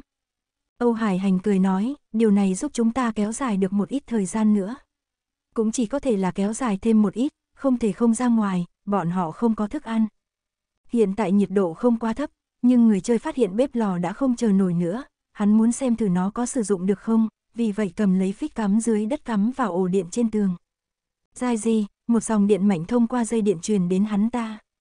Người này tên trừ địch an, lập tức co giật thân thể, mắt đảo trắng. Người bên cạnh hắn ta nhanh chóng lui ra xa, thứ này bị dỉ điện rồi. Sự tình phát sinh đột ngột, cũng kết thúc một cách đột ngột. Sau khoảng 10 giây, dòng điện tự động bị ngắt, trừ địch an phun ra một làn khói sau đó ngã xuống đất bất tỉnh. Cách đó vài bước, đám người thẩm thanh thành và lục bích bước tới quan sát, toàn bộ lông tóc trên người trừ địch an đều dựng đứng, làn da cũng có chút cháy đen. Lục bích đưa tay sờ mũi đối phương, còn sống. Nghe vậy Nhạc Tùng Lâm vội vàng tiến lên làm một vài động tác sơ cứu đơn giản giúp trừ địch an. Thời điểm trừ địch an bị điện giật ở dây thứ hai bọn họ đã phản ứng kịp, nhưng không ai cứu được hắn, bởi vì trong không gian này không có thứ gì dùng để cách điện. Sự xuất hiện và biến mất của dòng điện vô cùng khó hiểu, người xem đều lo lắng và sợ hãi. Mọi người đồng tình với hoàn cảnh của trừ địch an, lại sợ rằng việc này sẽ xảy ra với bản thân mình. Sau 5 phút, trừ địch an tỉnh dậy, phản ứng chỉ độn, mất đi phần lớn năng lực khống chế cơ thể. Việc này đối với tình cảnh đang trong phó bản của hắn tương đối nguy hiểm. Chính hắn hiển nhiên cũng biết điều này, hốc mắt lập tức đỏ lên, há miệng muốn nói gì, nhưng chỉ phát ra vài câu, a a, mơ hồ không rõ. Khoảng trống giữa phòng có đặt một chiếc giường giải phẫu, giống như đã sớm chuẩn bị tốt, chờ có người nằm lên đó nữa thôi. Trong lòng mọi người đều rối rắm, cố kỵ gì đó nên không đem trừ địch an đặt trên giường giải phẫu. Nhiệt độ lại giảm thêm 2 độ, thẩm thanh thành sờ vào vùng cánh tay lộ ra của Lục Bích, vẫn ấm áp. Lục Bích, không lạnh. Thẩm thanh thành, hiện tại đại khái bao nhiêu độ? Lục Bích, khoảng tầm 20 độ. Tính theo tốc độ giảm 2 độ trong nửa tiếng, nhiệt độ sẽ giảm xuống không trong khoảng 5 tiếng nữa. Lại thêm 5 tiếng nữa, tức là 10 giờ sau, nhiệt độ sẽ là âm 20 độ C. Mọi người có thể sống sót vài ngày mà không cần thức ăn, nhưng nhiệt độ cứ liên tục giảm xuống thế này, bọn họ tuyệt đối không thể kiên trì lâu nữa. Mọi người bắt đầu tích cực tìm kiếm cửa ra, thuận tiện hoạt động thân thể một chút. 2 giờ sau, nhiệt độ giảm xuống còn 12 độ C, có hai người chơi đã từ bỏ tìm kiếm. Lại 2 giờ nữa qua đi, nhiệt độ tiếp tục giảm thêm 4 độ C, tổng cộng đã có 6 người chơi từ bỏ tìm kiếm. Thẩm Thanh Thành trả lại áo khoác cho Lục Bích, Lục Bích từ chối tôi không lạnh. Thẩm Thanh Thành, không, anh lạnh. Thấy cậu kiên trì, Lục Thích đành phải nhận áo khoác mặc vào. Vì đã cởi áo khoác nên cậu chỉ mặc một cái áo hút đi dài tay, Thẩm Thanh Thành lập tức run lên. Lục Bích bắt lấy cậu sờ thử, lạnh băng, hắn nhíu mày, sao lại lạnh như vậy? Thẩm Thanh Thành cong mắt, vui đùa nói, anh ôm tôi một cái tôi sẽ không lạnh nữa. Lục Bích bình tĩnh nhìn đối phương, quyết đoán duỗi tay ôm người vào lòng, chính là loại tư thế bao bọc một người trong lồng ngực. Chấm hỏi, phối hợp như vậy, có phải do kịch bản cậu trêu chọc quá nhiều lần nên Lục Bích đã quen với nó rồi hay không? Thẩm Thanh Thành không thể không suy nghĩ về bản thân, cậu đến tột cùng đã làm cái gì, vậy mà đã đồng hóa luôn một người vốn lười phản ứng lại cậu, Lục Bích. Trong một không gian kín và nhỏ, người chơi từ bỏ tìm kiếm ra sức hà hơi dậm chân để duy trì nhiệt độ cơ thể. Đã qua 4 giờ, thực sự không có gì để tìm nữa cả. Bọn họ thậm chí đã cố gắng phá tường bằng đạo cụ, kết quả một chút dấu vết cũng không lưu lại trên tường. Nhạc Tùng Lâm xoa xoa tay, vòng qua vòng lại chạm mặt Trần Cách, hai người đồng thời thất vọng lắc đầu. Trần Cách run run nói, hỏi thầm ca và đại thần. Khi nói chuyện phun ra một làn xương trắng, hai người run rẩy gian nan xoay người, bị hình ảnh cách đó không xa làm kinh nghi tại chỗ. Trần Cách khiếp sợ, anh có nhìn thấy không? Thẩm ca nằm trong vòng tay của đại thần, đã phát triển nhanh như vậy rồi sao? Nhạc Tùng Lâm khó tin, anh thấy, ở thời điểm anh không biết rốt cuộc đã xảy ra chuyện gì. Một người chơi da trắng và chúng vào hai người, hồng cương liệt bọc trong khăn trải giường ngừng đầu. Tôi, hắt xì, đối phương hắt xì một cái, chết tiệt. Ở nơi công cộng bọn họ không thể thu liễm một chút sao. Hắn ta quấn chặt khăn trải giường xoay người rời đi. Đã bốn độ, không thể trì hoãn thêm nữa. Thân thể lục bích giật giật. Thẩm thanh thành rửa cầm trên vai hắn, vô thức đưa tay ôm lấy eo nam nhân, ôm một chút nữa. Chưa nói đến, ôm nhau còn rất ấm áp, đáng tiếc chỉ có phía trước ấm áp vì chỉ có một lục bích để ôm. Nếu có hai lục bích thì tốt rồi, một trước một sau, đem cậu kẹp ở bên trong chẳng phải là vô cùng tuyệt sao. Tác giả có lời muốn nói, thẩm thanh thành, tôi muốn hai lục bích. Lục bích, tôi sợ cậu không thể chịu đựng được, trông thật dễ thương, nhanh lên, ôm lão tử này. Tán tỉnh mà không nhằm mục đích hẹn hò là một hành vi côn đồ, cậu biết không đấy. Tất cả côn đồ đều chết tiệt chương 69 không người, những người chơi nhìn thấy hai người ôm nhau liền học theo, cũng ôm nhau để sưởi ấm. Cuối cùng áo khoác của Lục Bích vẫn là ở trên người thẩm thanh thành. Nhạc Tùng Lâm và Trần Cách cọ tới cọ lui tiến lại gần, nhìn hai người bọn họ, điệu bộ muốn nói lại thôi. Thẩm Thanh Thành đang khoác trên người áo khoác của Lục Bích, quay đầu kỳ quái hỏi, hai ngươi làm sao vậy? Muốn nói cái gì thì mau nói đi, nhìn giống như bị táo bón vậy.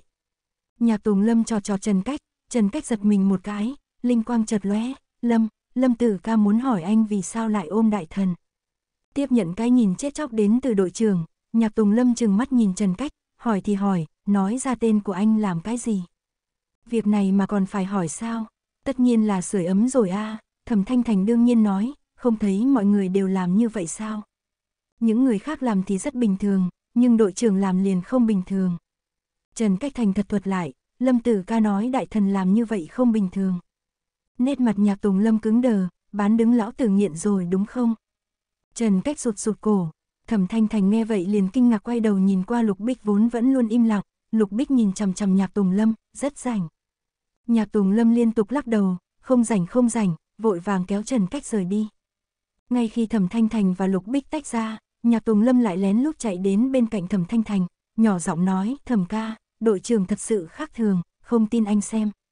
Nói xong hắn chạy đến bên cạnh Lục Bích đang ngẩng đầu quan sát đèn tường, dùng âm lượng mà Thẩm Thanh Thành có thể nghe thấy nói, đội trưởng, em lạnh quá. Vì để tăng tính chân thật trong lời nói, hắn diễn xuất vô cùng chân thật, ôm cánh tay run rẩy nói với giọng run run. Lục Bích không thèm cử động, lạnh giọng nói, trong quá trình huấn luyện, đã được ngâm trong hầm băng.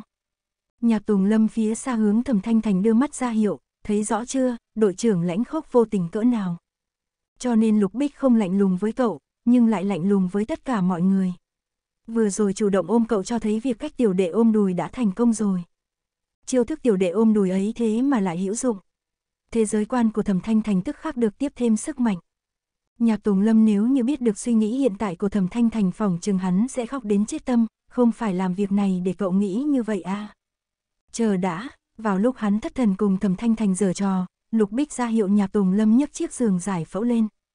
Nhạc Tùng Lâm nhanh chóng hoàn hồn, đội trưởng dự định làm gì? Chiếc giường dài khoảng 2 mét được dựng thẳng đứng, ngay dưới ngọn đèn tường. Đội trưởng hoài nghi trên đó có vấn đề. Nhạc Tùng Lâm bừng tỉnh đại ngộ, sau đó gọi Trần Cách đến giúp cùng. Đám người chơi chú ý tới động tĩnh phía bên này động tĩnh, từng ánh mắt sôi nổi tụ lại, Âu Hải Hành như đang suy tư gì đó. Lục Bích lui về sau vài bước lấy đà, bám vào mép giường giải phẫu bò lên trên. Chiếc giường rung rinh, Nhạc Tùng Lâm và Trần Cách dùng tay đỡ lấy. Không gian cao khoảng 3.5 mét, giường giải phẫu cao khoảng 2 mét, bản thân Lục Bích cao gần 1 mét 9, vì vậy khi đứng trên chiếc giường cao gần 2 mét, hắn chỉ có thể ngồi xổm xuống. Thẩm Thanh Thành cũng đi qua đỡ giường, ngửa đầu nhìn hắn, anh cẩn thận một chút. Không sao, Lục Bích trả lời, sau đó ổn định cơ thể và bắt đầu kiểm tra. Ngoại trừ trừ địch an bị điện giật vẫn đang nằm trên mặt đất, các người chơi khác đều tụ quanh đám Lục Bích, Âu Hải Hành, thế nào? Lối ra có phải ở trên đó không? Lục Bích gọi là trường đao cầm trên tay, dùng chuôi đao gõ tường, rắn chắc. Trong lòng mọi người âm thầm thở dài một tiếng, nam nhân lại cúi đầu nói với Thẩm Thanh Thành, lùi về sau. Đồng thời, bảo Trần Cách và Nhạc Tùng Lâm dùng áo khoác che đầu lại. Áo khoác bản thân Trần Cách đã có, Nhạc Tùng Lâm thì được Âu Hải Hành cho mượn. Sau khi làm xong tất cả, Lục Bích thay đổi vị trí để bản thân tránh bị thương, tay cầm chuôi đao ra sức hướng trên đỉnh đầu ném mạnh. Dầm, chiếc đèn tường hình tròn nổ tung một góc, trong đám người có người định lên tiếng chỉ trích Lục Bích phá hỏng nguồn sáng duy nhất của bọn họ, nhưng sau đó liền kinh ngạc phát hiện ánh đèn cư nhiên không biến mất. Những mảnh thủy tinh vỡ vụn đổ ập xuống lên người Trần Cách và Nhạc Tùng Lâm, lại từ trên người bọn họ rơi xuống mặt đất, lấp lánh phát ra ánh sáng. Sáng lên chính là những mảnh vỡ, không phải bên trong bóng đèn. Người chơi nhận ra điều này, ngay lập tức nhìn lên chiếc đèn treo ban đầu, chỉ thấy một lỗ đen phía sau góc vỡ của chiếc đèn. Thì ra lối ra vốn là ở phía trên, chỉ là có người dùng chùm đèn ngụy trang khiến cả đám bọn họ mệt mỏi. Rốt cuộc tìm được lối ra rồi, thì ra là ở trên đó, khó trách chúng ta tìm thế nào cũng không thấy. Thật tốt quá, chúng ta có thể đi ra ngoài, nếu lại không tìm thấy nữa, tôi sẽ bị đông chết mất. Chính là cao như vậy chúng ta đi ra ngoài bằng cách nào? Không phải có giường giải phẫu sao, giống lục bích bò lên trên đi là được rồi. Giường giải phẫu cao gần một mét, một người đứng ở trên giường, một người ở trên miệng lối ra tiếp ứng kéo người kia lên, việc đi lên liền dễ dàng. Có thể khó khăn một chút đối với những người chơi nữ không đủ mạnh, điều này sẽ đòi hỏi sức lực vô cùng lớn từ cánh tay người tiếp ứng để kéo đối phương. Thẩm Thanh Thành nhìn chằm chằm cái động màu đen kia, trên đó là ở đâu? Lục Bích, không rõ lắm, phía trên rất yên tĩnh. Hắn bẻ vài mảnh thủy tinh nhỏ vụ ném vào trong động, có thể thấy được phạm vi gần xung quanh bọn họ không có thứ gì. Chúng ta nhanh đi lên đi, nhiệt độ càng ngày càng thấp. Có người vội la lên. Lục Bích cúi đầu liếc nhìn nam nhân bọc trong lớp áo khoác. Phía trên tựa hồ không có nguồn sáng, hắn đập vỡ tất cả các mảnh pha lê nhỏ nhét vào trong động, lối thoát trên tường hoàn toàn lộ ra, là một vòng tròn không đều có đường kính khoảng tầm một mét. Tay Lục Bích bắt lấy cửa động, động tác nhanh chóng bò lên trên đi vào, theo sau đem pha lê phát sáng ném khắp bốn phía, trước tiên quan sát tình huống. Đây là một không gian rộng hơn so với bên dưới, bên trái có một hành lang không biết thông hướng đến nơi nào, trừ cái đó ra trong phạm vi mắt thường đều trống không. Còn nhiệt độ thì sao? Nhiệt độ thế nào? Trong đám người chơi có người hỏi. Đây cũng là vấn đề thẩm thanh thành quan tâm nhất, phía dưới của cậu đã bắt đầu run run. Lục Bích, khoảng 25 độ, 25 độ, thiên đường A. Lục Bích, anh đừng vội thăm dò hành lang, vạn nhất có nguy hiểm thì sao? Chờ chúng ta đi lên sau đó mọi người nhau hành động, người nhiều lực lượng càng lớn. Nhạc Tùng Lâm đang đỡ giường cười nhạo một tiếng, nói chuyện đường hoàng như vậy, còn không phải là sợ đội trưởng trực tiếp đi rồi mặc kệ bọn họ sao. Bất qua hắn cũng không tán đồng việc đội trưởng một mình đi thăm dò hành lang, đội trưởng, anh chờ chúng ta đi lên trước đã. Qua lời nhạc Tùng Lâm vừa lỡ miệng liền khiến Thẩm Thanh Thành hiểu rõ mối quan hệ giữa hắn và Lục Bích. Chúng ta đây có phải hay không trước nên thương lượng một chút về trình tự đi lên. Đúng đúng đúng, nên thương lượng, ưu tiên phái nữ, những người thân thủ tốt nên đi cuối cùng. Lời trong lời ngoài đều đang ám chỉ ba người Thẩm Thanh Thành nên đi cuối cùng. Theo ý kiến của bọn họ, Lục Bích mạnh như vậy, tổ đội cùng Lục Bích, vì vậy đám người Thẩm Thanh Thành khẳng định cũng mạnh không kém. Cũng có người cảm thấy như vậy không tốt, vốn dĩ chính là Lục Bích tìm được lối ra, nếu người nên đi trước hẳn nên là bọn họ. Nhưng liên quan đến lợi ích cá nhân vì thế không ai mở miệng. Lục Bích, Thẩm Mỹ Nhân và Trần Cách lên trước, Nhạc Tùng Lâm cuối cùng. Được, Nhạc Tùng Lâm đáp, hai chân theo bản năng khép lại, nhân lúc không ai chú ý liền đem chân lặng lẽ mở ra. Ở giữa như thế nào đám người chơi tự thương lượng, trình tự thế này mọi người đều không có ý kiến. Giường giải phẫu được thả xuống dưới, Thẩm Thanh Thành đứng ở trên giường ngửa đầu nhìn Lục Bích. Lục Bích quỳ một gối ở mép cửa động, vươn tay về phía Thẩm Thanh Thành. Một đôi tay ấm áp như mặt trời, một đôi tay lạnh như khối băng, Lục Bích, đừng sợ, nắm chặt. Tôi không sợ, Thẩm Thanh Thành nói, toàn bộ quá trình được kéo lên cậu không cần dùng sức, biết rõ bản thân lúc này nên xuất chiêu ôm đùi. Thẩm Thanh Thành lập tức khen ngợi nói, sức mạnh tuyệt vời, Lục đại ca là giỏi nhất. Lục Bích, tâm tình phức tạp, Thẩm Thanh Thành khen xong liền ngồi xổm đối diện nam nhân, chuẩn bị cùng Lục Bích cùng nhau kéo người, trong miệng nói có chuyện muốn nói cho anh. Lục Bích, chuyện gì? Thẩm Thanh Thành, trước khi lối ra xuất hiện, bên dưới rất sạch sẽ. Động tác Lục Bích chuẩn bị kéo người dừng lại. Thẩm Thanh Thành nói tiếp, lối ra mở ra đại khái có thứ gì đã đi xuống, hiện tại vẫn chưa khống chế được. Cậu nói không chịu khống chế, đó chính là thiên sư cũng vô pháp câu thông và lợi dụng, đại khái là chỉ thứ đồ vật không có lý trí. Lục Bích đã biết, hai người nói xong mới đưa tay xuống phía dưới kéo Trần Cách vốn cái gì cũng không biết lên. Lúc sau bọn họ lại đem Hồng Cương Liệt kéo lên, sau đó việc kéo người liền giao cho Hồng Cương Liệt và Trần Cách. Thẩm Thanh Thành và Lục Bích đứng ở cửa động cách đó không xa, nhìn đám người chơi bị kéo lên, đầu tiên là nữ, tiếp theo là điện giật trừ địch an, tiếp theo mới là những nam người chơi khác. Những người được kéo lên nhanh choang thích ứng với nhiệt độ xung quanh, thở phào nhẹ nhõm, sau đó bắt đầu bàn tán về việc thân thể bị đông cứng như thế nào. Hồng Cương Liệt và Trần Cách đã kéo đến người chơi nam thứ hai, lão đại Hồng Cương Liệt không vui, việc này thật muốn giao cho người khác đảm nhận, cái tay của hắn sắp gãy mất rồi. Người chơi nam được kéo lên giữa không trung khẩn trương nói, các người nắm chặt a, ngàn vạn đừng buông tay. Vừa mới dứt lời hắn liền đột nhiên rơi xuống, Hồng Cương Liệt và Trần Cách đều chết lặng, bò đến cửa động xem xét. Nam nhân với mái tóc vàng đang cuộn tròn đau đớn trên đống thủy tinh vỡ, thân thể không ngừng dỉ máu. Những người chơi còn ở dưới vội vàng tiến đến đỡ hắn dậy. Đoạn trí sinh chịu đựng đau đớn nghiến răng nghiến lợi mà nói, mẹ nó, là ai, kéo chân tao. Anh nói có người kéo chân anh, người chơi đỡ hắn sắc mặt cổ quái hỏi. Đoạn trí sinh hít mạnh một hơi, trên đùi hắn có một vài vết rạch từ mảnh vỡ, từ vết thương không ngừng dì máu, hắn một tay ấn chân, vô nghĩa, bằng không tôi sao có thể không nắm chắc chứ. Phía trên Hồng Cương Liệt cũng nói, đúng vậy, vừa rồi trọng lượng đoạn trí sinh đột nhiên nặng hơn rất nhiều, chúng ta lúc đó mới không giữ chặt hắn. Nhưng là bọn họ ở phía trên nhìn thấy vô cùng rõ ràng là Chân nào, nhạc tùng lâm hỏi, đơn giản giúp hắn cầm máu băng bó. Đoạn trí sinh qua thái độ kỳ quái của mọi người đã nhận ra không đúng, biểu tình bất an, chân trái. Nhạc Tùng Lâm vì thế tiến tới vén lên ông quần bên chân trái của hắn. Chân trái đoạn trí sinh có hiện một bàn tay nắm chặt màu tím bầm nhạt, cho thấy hắn không có nói sai. Nhạc Tùng Lâm lên tiếng, không có người kéo anh, rõ ràng không có người kéo đoạn trí sinh. Sau một hồi im lặng, đoạn trí sinh kéo kéo khóe miệng, khùng, game kinh dị, bình thường đúng không? Mọi người mặt vô biểu tình nhìn hắn, không ai gặp phải việc này còn xem nó bình thường. Âm dương nhãn của thẩm thanh thành khi linh khi không linh, hiện tại đang ở trạng thái không linh. Cậu không có nhìn thấy là thứ gì kéo chân đoạn trí sinh, liền tiến lại gần lục bích một chút. Nam nhân nghiêng đầu, sợ, cậu chớp chớp mắt, lập tức tiến vào trạng thái bắt lấy cánh tay nam nhân khẩn trương lo lắng gật đầu. Lục bích nói thầm, vừa rồi không phải không sợ sao. Đúng nga, thẩm thanh thành bỗng nhiên linh cơ vừa động, bởi vì vừa rồi anh gắt gao nắm tay của tôi, có lục đại ca bảo hộ, tôi cảm thấy phi thường an toàn. Nghe một chút lời đường mật này, tôi đây sẽ đạt điểm tối đa. Nghe xong câu giải thích, đuôi mày nam nhân nhẹ nâng, khóe miệng nhích một độ cung vừa đủ, trực tiếp cầm lấy bàn tay đang ôm lấy cánh tay mình. Bị nắm tay thầm thanh thành. Hắc, Lục Bích, người này như thế nào còn mang theo bao cao su. Tác giả có điều muốn nói. Hồng Cương Liệt, giúp với. Tôi sẽ bị mù mất. Tôi đây, vốn là một người bình thường, tôi đã làm gì sai mà điều này lại xảy ra với tôi. Nước nở. chương 70, lối ra, Lục Bích cười, chính là cây vạn tuế ra hoa ngàn năm một lần. Sự việc của đoạn trí sinh đã trì hoãn một chút thời gian của mọi người, thành thật mà nói, tất cả người chơi đã quen với việc gặp phải những tình huống bất ngờ như vậy trong phó bản.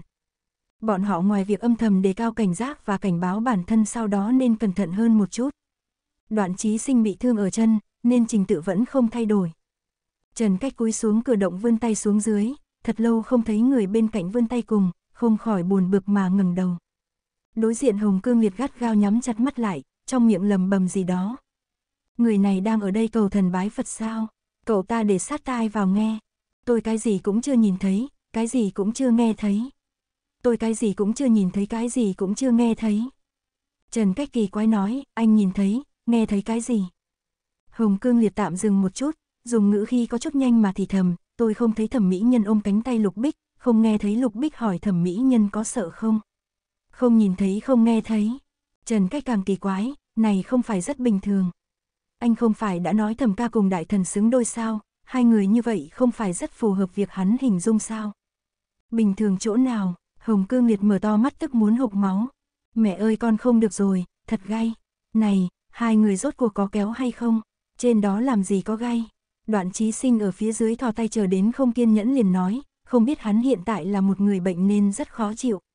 Từ từ cái lông á. Vừa nghe kia hai chữ kia Hồng Cương Liệt như bị kích thích, dùng ánh mắt giết người nhìn về phía đoạn trí sinh, hắn một thằng nam thật bình thường, vì sao lại đối xử với hắn như vậy.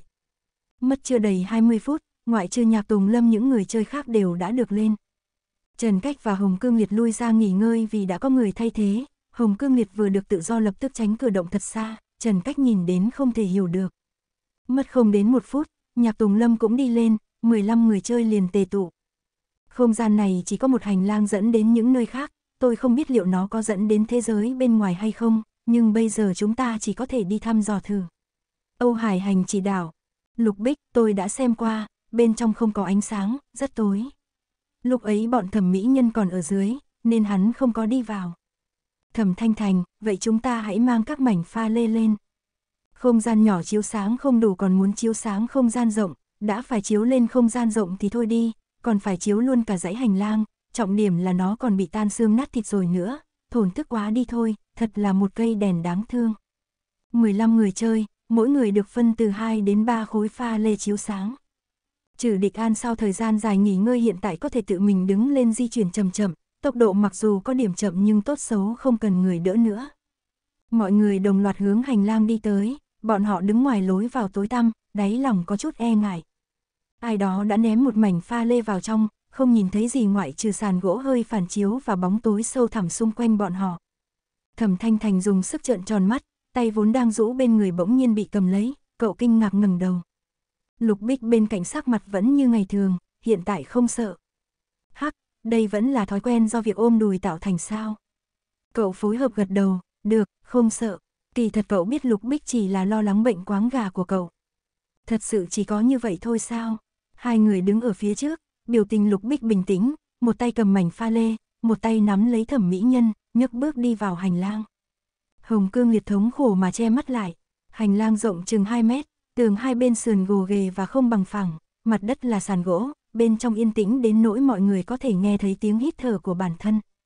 Lúc đầu, mọi người đều lo lắng đề phòng sự việc ngoài ý muốn sẽ đột nhiên phát sinh, nhưng sau khi đi bộ hơn 10 phút, mặc dù không đi đến cuối cùng nhưng mọi người vẫn an toàn.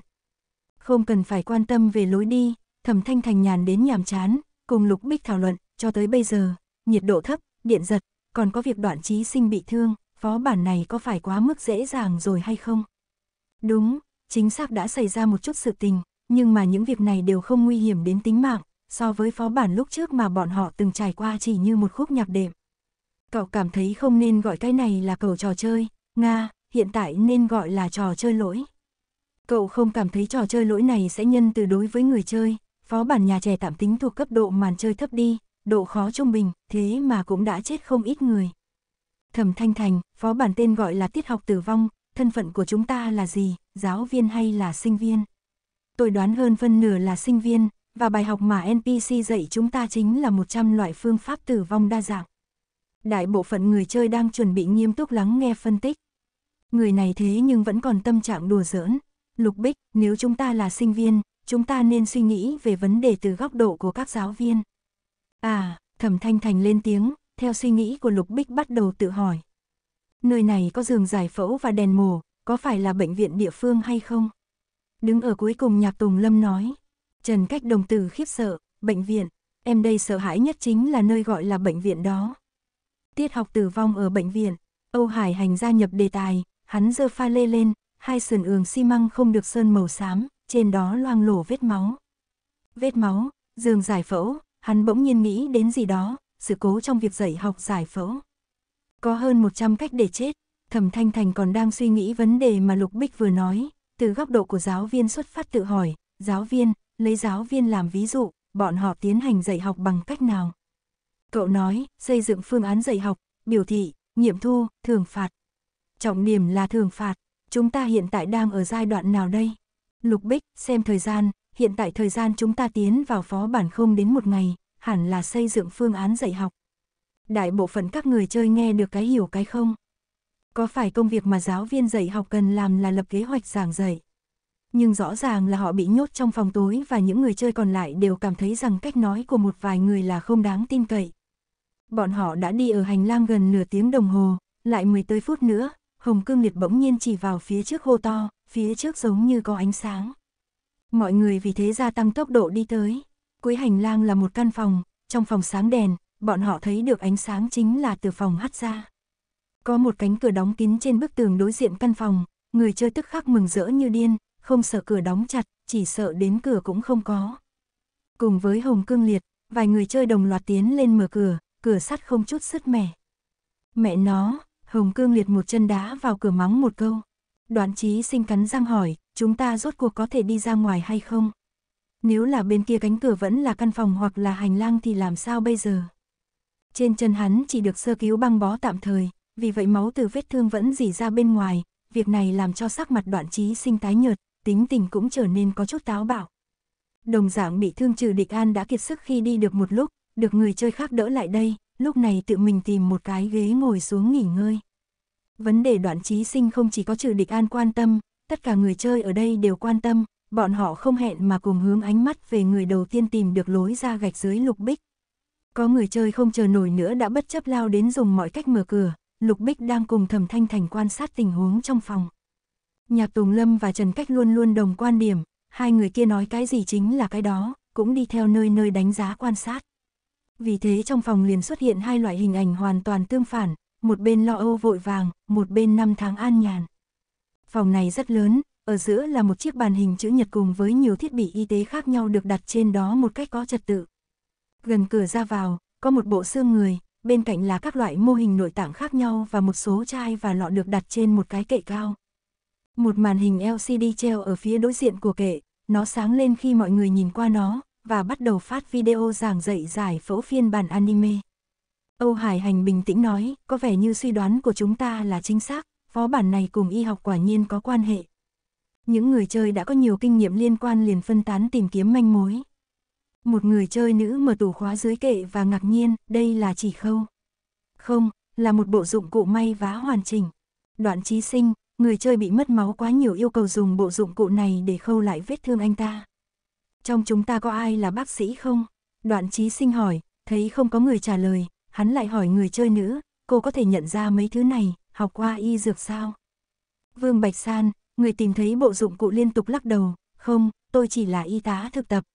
Ngoặc kép, ít nhiều dù là thực tập vẫn hiểu biết về y học, vẫn tốt hơn so với người không biết gì, đoạn trí sinh thở hắt ra, đoạn tìm ghế ngồi xuống, làm phiền cô. Vương Bạch San do dự một chút, cầm bộ dụng cụ đi tới, tôi sẽ cố gắng hết sức vậy. Bên này Vương Bạch San lấy thuốc sát trùng trên kệ rửa sạch miệng vết thương của đoạn trí sinh, bên kia video trên màn hình vẫn đang phát tiếp về quy trình giải phẫu. Trừ địch an lúc này hiểu khi vô lực mà ngồi trên ghế nghỉ ngơi. Lục Bích đem tất cả hình ảnh thu vào đáy mắt, thẩm thanh thành nhìn Lục Bích, anh đang nghĩ gì vậy? Lục Bích hoàn hồn, có đói bụng không? Đói, thẩm thanh thành trả lời, anh suy nghĩ gì thế? Biết chắc không trả lời đối phương sẽ không buông tha, Lục Bích liền nói, tôi đang suy nghĩ về những gì chúng ta đã trải qua từ trước cho đến bây giờ, nó có thể là một phần của kế hoạch giảng dạy. Nó sẽ xuất hiện theo một cách nào đó. Những lời này lọt vào tai Âu Hải Hành đang đứng bên cạnh, khơi dậy cảm xúc kịch liệt trong lòng hắn. Đúng lúc này, mọi người nghe thấy một âm thanh vô cùng rõ ràng, bang. Cái gì kêu thế? Hồng Cương liệt phản ứng nhanh nhất, cửa mở. Cánh cửa sắt vừa rồi tốn bao nhiêu công sức cũng không hề nhúc nhích, lúc này đột nhiên tự động loi ra một khe hở. Mọi người lặng lặng nhìn vào một nửa hé ra của cánh cửa, có thể đó chính là lối ra bên ngoài, nhưng không ai dám đi qua. Đây không phải mở rồi sao? Các người sao lại bất động thế kia? Thẩm Thanh Thành trước khi mọi người kịp ngăn cản đã nhanh chân đi qua, thuận tay đem cửa mở rộng hoàn toàn. Này, Hồng Cương liệt cạn lời, xúc động như vậy, nam nhân nhà cậu ta thế mà lại không quan tâm cậu ta ư. Cửa mở, một chút ánh hoàng hôn buông xuống từ bên ngoài tiến vào, Thẩm Thanh Thành quay đầu lại cười nói, đi à, tôi đói bụng lắm rồi. Được, đi thôi, thẩm mỹ nhân thật là đẹp mắt, cười rộ lên quả thực giống như thiên sứ. Sau 7 tiếng đồng hồ, cuối cùng bọn họ cũng ra khỏi đó. Bên ngoài cánh cửa là một quảng trường rộng lớn với bồn hoa hình tròn ở giữa và mọi người đều mặc y phục trông như học sinh đi qua đi lại. Bọn họ quay đầu lại nhìn về phía sau, nơi bọn họ vừa bước ra là một tòa nhà khoảng 7,8 tầng, trên đó viết năm chữ tòa nhà thực nghiệm dạy học. Khóa học thực nghiệm đã tan học lâu lắm rồi, tại sao các người vẫn còn ở đây? Một nam sinh đeo kính đang ôm sách đi ngang qua kinh ngạc nói. Nhạc Tùng Lâm không nói hai lời đi tới ôm lấy bả vai đối phương lôi kéo làm quen, liếc mắt nhìn chồng sách trong lòng ngực đối phương, cười ha hả, người anh em, mới từ thư viện trở về sao. Mắt kính nam không quen liền dịch dịch vai, phải. Nhạc Tùng Lâm, đây là nơi nào? Mắt kính nam, phía sau không phải viết, tòa nhà thực nghiệm. Nhạc Tùng Lâm, tôi đang hỏi về ngôi trường này. Nam sinh đeo kính càng thêm kỳ quái, phảng phất đang nói anh có bệnh à, Đại học Y khoa Nam Hoa. Cảm ơn người anh em, Nhạc Tùng Lâm vỗ vỗ bả vai nam sinh tiễn người rời đi, trở lại đội ngũ, là Đại học Y khoa. Y học, trường đại học, hoàn toàn phù hợp với cách giải thích của họ về tên của bản sao và lời phân tích trước đó. Trần Cách sờ sờ đầu, hỏi, theo như cách nói của nam sinh vừa rồi, hẳn thân phận chúng ta chính là sinh viên đi. Thế phòng học và ký túc xá của chúng ta ở đâu nhỉ? Không có gì bất ngờ xảy ra thì ký túc xá chính là nơi bọn họ nghỉ ngơi trong phó bản này. Trần Cách vốn là sinh viên đại học trước khi bị kéo vào trò chơi, bây giờ một lần nữa được trở về trường học, vì thế nhanh chóng tiến vào trạng thái, đồng thời cũng có một loại cảm giác vô cùng quen thuộc. Thẩm Thanh Thành giơ tay, tôi còn một câu nữa muốn hỏi, chúng ta có cần phải dậy sớm để lên lớp không? Đáng lẽ nên giữ chặt nam sinh hồi nãy để hỏi rõ ràng. Nhạc Tùng Lâm vỗ mạnh đùi, hối hận không thôi. Ngay sau đó mọi người nhận được thông báo về màn chơi từ thiết bị đầu cuối, đó là thời khóa biểu và số tòa nhà ký túc xá. Thẩm Thanh Thành xem xong thời khóa biểu hít sâu một hơi khí lạnh, che ngực biểu tình tâm đau như cắt, đôi mắt nhắm chặt, thân thể mềm mại mà siêu vẹo. Lục Bích bất đắc dĩ tiến lên đỡ lấy cậu. Lục đại ca, tôi không được rồi, 8 giờ lớp học bắt đầu, đây rõ ràng là muốn mạng của tôi mà, thanh âm cậu run rẩy, chờ sau khi tôi chết, đem tôi hậu táng đi. Tác giả có lời muốn nói. Lục Bích, cậu coi quá nhiều phim truyền hình rồi có rồi có phải không? Thẩm Thanh Thành, này, đừng có lại đụng vào vết thương lòng trong tim tôi nữa. chương 71 thời khóa biểu, Lục Bích, Nghĩa Trang Lục gia. Thẩm Thanh Thành, có thể, tôi sẽ không chọn. Người chơi xung quanh bao gồm Nhạc Tùng Lâm và Trần Cách đều ngây người nhìn bọn họ, trọng điểm là thẩm mỹ nhân đang giả vờ choáng váng, mặc dù 8 giờ đi học có chút sớm, nhưng cũng không đến mức khoa trương như vậy chứ. Càng khiến bọn họ kinh ngạc chính là Lục Bích, biết rõ thẩm mỹ nhân giả bộ bất tỉnh, cư nhiên còn phối hợp. Nhạc Tùng Lâm, thì ra ngày thường thẩm ca cùng đội trưởng ở chung theo cách này, đúng là chăm nghe không bằng một thấy, hổ thẹn hổ thẹn. Trần Cách, qua mấy phó bản không gặp, thủ đoạn ôm đùi của thẩm ca càng ngày càng tinh tế. Hồng Cương Liệt lần này thực ngoan ngoãn, vừa thấy thẩm mỹ nhân tới gần Lục Bích liền tức thời nhắm mắt, bịt kín cả lỗ tai, ngoại trừ việc không biết hai người khi nào mới kết thúc, hiệu quả thực không tồi. Ha ha ha ha ta mẹ nó cười chết, một đám quần chúng vây xem đều trợn mắt há hốc mồm, người trẻ tuổi yêu đương phải biết tiết chế đấy biết không. Quá phi thường rồi, đại thần thế nhưng lại nguyện ý bồi mỹ nhân diễn, nhất định là chân ái 23.333. Đau lòng tiểu ca ca cương liệt ha ha ha ha, ta muốn thổi bùng lên vòng hào quang giả tạo này, nó thật quá gây hiểu lầm đi.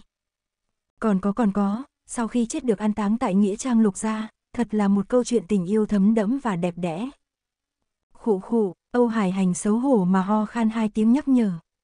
Thẩm Thanh Thành nâng mí mắt, con người đen nhánh đối diện ánh mắt thâm thúy của Lục Bích, bên trong thấy được hình dáng nho nhỏ của bản thân. Cảm ơn, cậu đối với việc Lục Bích đỡ được mình nói lời cảm tạ, sau đó xem như không có việc gì mà đứng thẳng dậy. Thẩm Thanh Thành cẩn thận nhìn vào thời khóa biểu, còn tốt, bắt buộc dậy sớm chỉ có ngày thứ sáu tuần này, không biết hôm nay là ngày nào trong tuần, nếu thời gian vẫn còn sớm nói không chừng không cần đến thứ sáu chúng ta đã thông quan rồi đi. Lục Bích, ừm, mọi người, tự tin quá mức, Âu Hải Hành, mọi người có phải cùng thời khóa biểu không? Nghe thế mọi người nhìn kỹ lại lần nữa, thời khóa biểu quả thật giống nhau, chương trình học đa số đều tập trung ở buổi trưa cùng buổi chiều, địa điểm của lớp học cũng được ghi cụ thể trên đó. Đây là cái thời khóa biểu kỳ quặc gì thế này, 12 giờ, 1 giờ, 2 giờ, thời điểm buổi trưa đáng lẽ nên ăn trưa rồi nghỉ ngơi cư nhiên lại bắt chúng ta đi học. Hồng Cương liệt phun tào. Trần Cách nhỏ giọng nói, chúng ta vốn dĩ không phải thật sự đi học. 12 giờ, 13 giờ, 14 giờ. Lục Bích bỗng nhiên nói. Có ý gì, mọi người không hiểu, thẩm thanh thành sờ sờ bụng, giải thích, chính là nói thời gian chính xác buổi chiều nên được biểu thị là 12 giờ, 13 giờ, 14 giờ, thời gian trên thời khóa biểu viết có khả năng không phải chỉ ban ngày. Không phải chỉ ban ngày, vậy chỉ có thể là nửa đêm. Đi học vào nửa đêm sao? Thật sự là bắt chúng ta đi học vào nửa đêm sao? Vương Bạch San sợ hãi ôm chặt cánh tay một người chơi nữ bên cạnh, cái thời gian này thấy thế nào cũng có chút dọa người. Thẩm Thanh Thành cười tùm tìm, đến lúc đó đi xem không phải rõ ràng liền sao.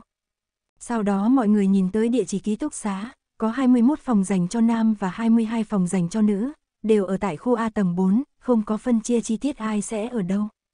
Sau khi thảo luận xong người chơi quyết định xác định vị trí ký túc xá trước, nam nữ được chia thành hai nhóm theo giới tính rồi rời đi. Âu Hải Hành, Lục Bích, các người không đi sao? Lục Bích nhàn nhạt mở miệng, chúng ta đi nhà ăn trước. Mọi người lúc trước lăn lộn lâu như vậy ở cái nơi chật hẹp mà lạnh lẽo kia, nên có điểm mệt mỏi, đặc biệt Lục Bích còn vận động mạnh. Âu Hải Hành gật đầu lộ ra một nụ cười ôn hòa, lúc này mới xoay người đuổi theo mọi người. Còn lại bốn người thầm thanh thành hướng nhà ăn đi tơi. Bọn họ không biết rõ vị trí nhà ăn, trên đường tóm được một đồng học hỏi thăm mới tìm được vị trí. Nhà ăn của Đại học Nam Hoa không tồi, giá cả phải chăng mà món ăn cũng vô cùng ngon miệng. Vào giờ cao điểm buổi tối nên nhà ăn rất đông, xung quanh bốn người đều chen lấn đầy người, bọn họ quan sát một chút, thấy rằng những người tới nhà ăn dùng bữa đều là những sinh viên bình thường. Bốn người sau khi ăn xong cơm tối, sau khi biết được hôm nay là thứ hai liền trở lại ký túc xá, tình cờ gặp mặt đám người chơi xác định xong vị trí ký túc xá. Âu Hải Hành mỉm cười nhìn bọn họ, các người đã ăn xong cơm tối. Nhà ăn ở đâu vậy? Là đồ ăn bình thường phải không? Phía sau có người tiếp một câu. Bình thường, sắc thái phong phú, đem tiền theo là được. Nhạc Tùng Lâm chỉ hướng đi cho đối phương, bọn họ không có thẻ sinh viên, vì vậy liền dùng tiền mặt mua cơm. Cảm ơn, các người cũng mau trở về thu thập một chút, đám người chơi đều rất đói rồi. Nhận được câu trả lời liền ba chân bốn cẳng chạy đến nhà ăn, Âu Hải Hành nói với bọn họ, lầu bốn ngoại trừ người chơi không có các sinh viên khác. Đây cũng là một trong những việc đám người thẩm thanh thành đã đoán trước, bọn họ là những người chơi đến từ thế giới bên ngoài, hãy suy nghĩ theo hướng tích cực hơn rằng không có ai khác bọn họ có thể chọn phòng ở một cách tùy ý. Bọn họ đi đến lầu 4 khu A, quả nhiên như lời Âu Hải Hành nói, không có ai khác ngoại trừ người chơi. Một số túi nhựa và thùng giấy bị ném lộn xộn trên hành lang, các phòng ở hai bên đều mở rộng cửa, nhìn bên ngoài quả thật chỉ như một đám sinh viên vừa chuyển đi vào cuối kỳ nghỉ. Nhưng từ cánh cửa mở rộng có thể quan sát được tình huống phía trong, sáu chiếc giường tầng trong phòng đều được trải ga giường, chăn mền đều được sắp xếp gọn gàng. Có vẻ như các sinh viên chỉ rời đi một lúc và sẽ quay lại bất cứ lúc nào. Toàn bộ tầng 4 đều bao phủ một mảnh tử khí âm trầm, không nghe thấy bất cứ âm thanh nào từ tầng dưới truyền đến. Mọi người đều thích ứng tốt với tình huống hiện tại, trần cách chúng ta nên chọn phòng nào. Một số phòng đóng cửa đã được người chơi khác chọn, thẩm thanh thành đại khái nhìn một chút, chọn một phòng ngủ với vị trí hướng dương. Ký túc xá đại học phần lớn đều giống nhau, gian phòng bọn họ chọn cũng như vậy. Bốn người đi vào trong, không gian phòng ngủ chật trội, với cấu trúc là giường trên và bàn học phía dưới, giường, bàn và tủ khóa chiếm gần như toàn bộ không gian của căn phòng. Thẩm Thanh Thành, không có WC, bên ngoài tuy rằng có một cái ban công, ban công tuy rằng có bồn rửa tay dây phơi quần áo, nhưng lại không có nhà vệ sinh. Lục Bích, phía cuối hành lang, Lục Bích từ trước đến nay đều quan sát cẩn thận, hắn nói ở trên hành lang vậy khẳng định chỉ có hành lang có. Thẩm Thanh Thành cảm nhận được một cỗ mệt mỏi trào ra từ nơi sâu kín trong linh hồn, cậu héo queo mà đi đến phía sau Lục Bích, chán dùng sức đụng phải bả vai đối phương, dậy sớm, phòng tắm công cộng, tôi không thể chịu được nữa. Bị đụng phải thân thể, Lục Bích cũng không làm ra hành động nào khác, ánh mắt hắn quét qua đống sách được bày trên bàn học, nội khoa, ngoại khoa, giải phẫu bộ phận học. Đều có quan hệ cùng y học. Chấm quá khó khăn, chấm quá khó khăn. Tôi vốn chỉ là một con mèo nhỏ muốn một lòng nghỉ phép dưỡng lão, vì sao lại đối xử với tôi như vậy? Người phía sau lẩm bẩm không ngừng như tụng kinh, lại liên tục dùng chán cộng vào lưng nam nhân. Lục Bích xoay người, lùi về phía sau hai bước, người phía sau vẫn theo quán tính liền thuận thế ngã vào lồng ngực đối phương. Không đứng vững thầm thanh thành, cậu nắm lấy quần áo phần eo nam nhân ngừng đầu, ánh mắt nguy hiểm, anh cố ý. Lục Bích phải, Thẩm thanh thành nghẹn giọng, Lục Bích cố ý thì thế nào, vốn có thể tóm trực tiếp lấy người đâm vào mình, bây giờ lại tương kế tự kế phản kích. Còn muốn tiếp tục sao? Lục Bích bình tĩnh hỏi cậu. Đôi mắt xinh đẹp của Thẩm thanh thành cong lên, cười nói, vậy anh sẽ cho tôi đâm vào tiếp sao? Cậu vốn tưởng rằng bản thân sẽ bị cử tuyệt, không nghĩ tới nam nhân lại nói, ừm. Chấm hỏi chấm hỏi chấm hỏi, sao lại thế này, dựa theo tình huống trong quá khứ, Lục Bích nếu không trực tiếp làm lơ cũng sẽ lạnh lùng nói, câm miệng, sao? Lục Bích tại sao bỗng nhiên lại phối hợp như vậy chưa? Cậu hiện tại nên kết thúc tình huống này như thế nào đây? Sau khi đã chết thầm thanh thành chưa bao giờ sợ bất kỳ ai, vì thế hiện tại cậu liền hướng nam nhân tấn công. Mái tóc quét qua khóe môi đối phương, điểm lên vai nam nhân một chút lực không quá lớn, lục bích giơ tay chụp lấy gáy đối phương. Thẩm thanh thành, cộng với sự việc vừa rồi, cậu hiện tại đã chắc chắn, lục bích, anh thay đổi rồi. Cậu, thẩm thanh thành gặp được đối thủ, trong mắt lục bích xẹt qua ý cười, thay đổi, cũng không thay đổi. May là nhà Tùng Lâm đang bận kiểm tra tình huống phòng ngủ nên không phát hiện một màn này, bằng không hắn sẽ bị dọa đến bất tỉnh vì hành động vừa rồi của Lục Bích. Trần Cách lại thấy rõ một màn này, bất qua với hắn mà nói thầm ca cùng đại thần đơn giản chính là từ một mũi tên biến thành hai mũi tên, có cái gì đáng kinh ngạc chứ. Đến Hồng Cương Liệt cũng đã nói, rất xứng đôi. Trần Cách mở ra tủ khóa đựng vật dụng cá nhân ở cửa, bên trong có một ít quần áo dùng để thay đổi, hắn tiện tay lựa lựa, bỗng nhiên một thứ gì đó hình tròn dưới đống quần áo bỗng nhiên bay về phía cậu. Trần Cách, nhạc Tùng Lâm đúng lúc đang đứng bên cạnh vội duỗi tay đem hắn kéo đến một bên. Thứ đồ vì bỏ lỡ mục tiêu, lúc này đang tương dưới đất chậm chậm, sau đó từ từ dừng lại. Hừ, Trần Cách vỗ vỗ kịch liệt trái tim đang đập liên hồi, là thứ gì thế, làm em sợ muốn chết. Động tĩnh bên này khiến Thẩm Thanh Thành và Lục Bích chú ý, hai người, ngừng chiến, đi tới, phát hiện đồ vật nằm trên mặt đất thế nhưng lại là một nhãn cầu bị móc ra. Trong mắt xanh trắng, mặt trên phủ đầy tơ máu, đồng tử màu đen tan dã lăng lăng nhìn chằm chằm bốn người. Nhạc Tùng Lâm dưới ánh mắt kinh hoàng của Trần Cách đưa tay nhặt nhãn cầu lên quan sát, hắn bóp bóp, trong mắt có độ co giãn nhất định, giả. Giả, Trần Cách khó tin, nhìn chân thật đến như vậy cư nhiên là giả. Lục Bích quét mắt xung quanh, trong phòng khả năng còn có đồ vật cùng loại. Nhạc Tùng Lâm nhanh chóng lĩnh ngộ ý tứ của đội trưởng nhà hắn, cùng Trần Cách kiểm tra toàn bộ căn phòng một lần, quả nhiên tìm thấy không ít bộ phận cơ thể cùng loại như trong mắt, tay bị chặt đứt, tim người. Mấy thứ này đều vứt vào túi, được nhạc tùng lâm ném vào thùng rác ở hành lang. Trần Cách, tại sao nơi này có nhiều đồ chơi nhỏ như vậy? Em là đang nói về mấy cái món đồ giả, chứ không phải vật thật. Quá khác thường, cư nhiên lại dùng mấy thứ đồ giả chân thật thế này mà hù dọa bọn họ. Ai biết, nhạc tùng lâm nhún vai, nói không chừng nửa đêm liền biến thành vật thật. Một lát sau, những người chơi đi nhà ăn dùng bữa đã trở lại. Âu Hải hành tới trước phòng bọn họ gõ cửa, mọi người muốn thương lượng hành động tiếp theo, các người hiện tại có rảnh không? Mọi người muốn bàn xem nửa đêm hôm nay có thức dậy và lên lớp không? Nửa đêm chỉ là suy đoán của Lục Bích, tuy rằng thời gian có thể đúng vì thời gian này quá đặc biệt, phù hợp với hoàn cảnh quỷ dị của màn chơi, nhưng bởi vì điều này nên mọi người mới do dự. Thời khóa biểu bảo bọn họ nửa đêm đi bọn họ liền nửa đêm đi, vạn nhất đi mới gặp phải nguy hiểm thì làm sao bây giờ? Thế bọn họ chẳng phải là tự chui đầu vào lưới sao? Đối với việc này thẩm thanh thành tỏ vẻ, không có việc gì, các người cứ bàn bạc đi, dù sao vô luận kết quả các người bàn bạc là gì chúng ta đều sẽ đi. Một số người chơi không muốn đi, trong đó lấy đoạn trí sinh và trừ địch an làm đại biểu, nhưng đại bộ phận người chơi đều nguyện ý tin tưởng lục bích, cho nên hai người bọn họ số ít liền phải theo số đông. Cuối cùng đã có kết quả, Âu Hải Hành, mọi người sớm nghỉ ngơi một chút, buổi tối trước tiên tập hợp. Thẩm Thanh Thành, nghe giống như là đi tham gia một bữa tiệc lớp vậy. Câm mồm, tiệc lớp sẽ tổ chức vào cái giờ này sao? Trở lại phòng ngủ, Thẩm Thanh Thành từ tủ đồ lấy ra một bộ quần áo bộ sạch sẽ, cậu lấy quần áo và vật dụng cá nhân bước ra khỏi cửa, Lục Bích, anh có muốn tắm chung không? Lục Bích, đợi chút đi, Thẩm Thanh Thành nghiêm túc khuyên hắn, muốn tắm rửa bây giờ tranh thủ mọi người chưa đi còn kịp, đợi chút nữa sẽ rất nhiều người. Ai, từ từ, em đây đi, bị thuyết phục nhạc Tùng Lâm nói. Lục Bích bắt lấy gáy hắn, hướng Thẩm Thanh Thành bình tĩnh lặp lại, hắn cũng đợi chút mới đi. Trước khí thế của đội trưởng, nhạc Tùng Lâm rụt cổ không dám động. Thẩm Thanh Thành xoay người, giọng nói tiếp nuối truyền lại, vốn đang muốn nhờ anh Kỳ Lương giúp tôi, không đúng, không thể chiếm tiện nghi một mình, còn có thể giúp đỡ lẫn nhau.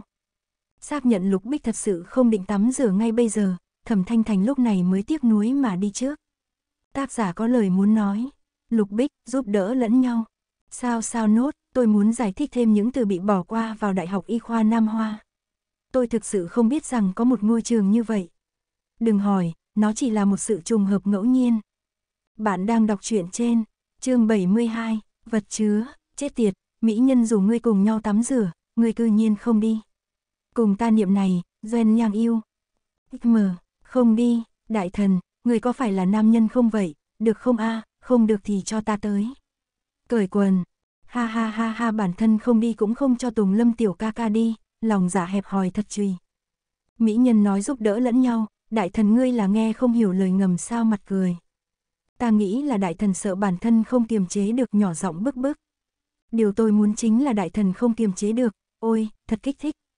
Phòng tắm công cộng lúc này quả nhiên không có người, đèn cảm ứng âm thanh đột nhiên sáng lên dưới tiếng bước chân, thẩm thanh thành đi vào tắm rửa thân thể, sau khi tắm xong lúc này mới có người chơi khác đi vào. Chờ ba người lục bích tắm xong trở về, cậu kéo đám người chơi chơi một trò chơi nhỏ, sau đó bị lục bích lấy lý do lúc nửa đêm phải thức dậy tống cổ đi nghỉ ngơi. Nửa đêm, cách thời gian 12 giờ khoảng tầm 30 phút, thẩm thanh thành vốn đang ngủ ngon lành bị lục bích đánh thức. Nghe thấy âm thanh sột soạt bên tai, cậu gian nan mà nâng lên mí mắt nặng trịch, mơ hồ hỏi bọn họ cũng tỉnh. Ừ, lục bích đứng ở mép giường, che mắt lại, tôi bật đèn. Thẩm thanh thành vì thế đem chăn trùm qua đầu, một chút ánh sáng nhỏ vụn xuyên qua khe vải chui vào ổ chăn. Cậu nằm ở trên giường nhắm mắt lại định thần trong chốc lát, sau khi hoàn toàn tỉnh táo đem chăn để qua một bên xoay người ngồi dậy. Ngoặc kép chấm than ngoặc kép, trong phòng có thật nhiều người. Một nam sinh đang ngồi trên bàn lật sách, ở ban công có người đang giặt quần áo, một lão nhân mặc một chiếc áo len đang chuẩn bị lên giường nghỉ ngơi. Những người hiển nhiên không phải Lục Bích, không phải Trần Cách, cũng không phải Nhạc Tùng Lâm. Thẩm Thanh Thành nhắm chặt mắt lại, sau đó lại mở ra, Nhạc Tùng Lâm đang ở trên giường mặc quần áo chuẩn bị đứng dậy, vị nhân huynh trên giường cơ hồ cùng cậu mặt đối mặt. Cậu lập tức xuống giường mở cửa đi ra hành lang, trên hành lang càng nhiều người hơn, có bưng chậu khăn lông đi tắm rửa, có người ôm sách từ bên ngoài trở về, có người cầm theo ấm sôi đun nước. Một đám con trai khoảng tầm 20 tuổi cứ tới tới lui lui, ra ra vào vào ở trước mặt cậu, bình thường mà nói chuyện phiếm, chào hỏi, bọn họ không nhìn thấy cậu, phảng phất an ổn mà sinh hoạt ở một thế giới khác. Âm dương nhãn của cậu có vấn đề sao? Cậu rụi rụi mắt, những người này thấy thế nào cũng không phải quỷ. Lục Bích phát hiện cậu có biểu hiện lạ vì thế theo sát cậu đi ra hành lang, thấy ánh mắt thẩm mỹ nhân mãi nhìn vào hư không, Lục Bích nhớ tới đối phương từng nói qua trò chơi đã phong ấn cậu hai điều. Lục Bích, cậu thấy gì? Thẩm Thanh Thành đang muốn đem hình ảnh bản thân vừa nhìn thấy nói cho đối phương, đột nhiên cánh cửa phòng đối diện mở ra, Âu Hải Hành đang đứng sau cánh cửa nắm then chốt nhìn bọn họ, các người chuẩn bị xong chưa? Thẩm Thanh Thành quay đầu nói với Lục Bích, tối nay nói anh nghe. Sau đó cậu quay trở lại phòng thay quần áo, thời điểm cậu quay lại, vị nhân huynh kia vẫn đang ngồi trên bàn học vùi đầu học bài, Thẩm Thanh Thành vô cùng bội phục tinh thần học tập chăm chỉ của vị này. 11 giờ 40 phút, người chơi cả nam lẫn nữ đều đã tập hợp đầy đủ dưới lầu. 11 giờ 55 phút, 2 phút trước khi thời gian học bắt đầu, bọn họ đã đến lớp học, tòa nhà học giả. Lối vào tòa nhà học giả cách xa khu vực đèn đường nên rất tối, không có ai xung quanh ngoại trừ người chơi. Đi về phía bên trái một khoảng chính là cửa hông trường học, có một quầy hàng nhỏ bên ngoài, đèn sáng nhưng lại không có người. Có người xoa xoa cánh tay, chúng ta đi vào chứ. Vào đi, vào đi, đương nhiên phải vào rồi. Âu Hải Hành lên tiếng. Cửa lớn bằng kính trong suốt trông như được sơn màu đen, tối như mực, Âu Hải Hành dẫn đầu trước tiên đẩy cửa bước vào.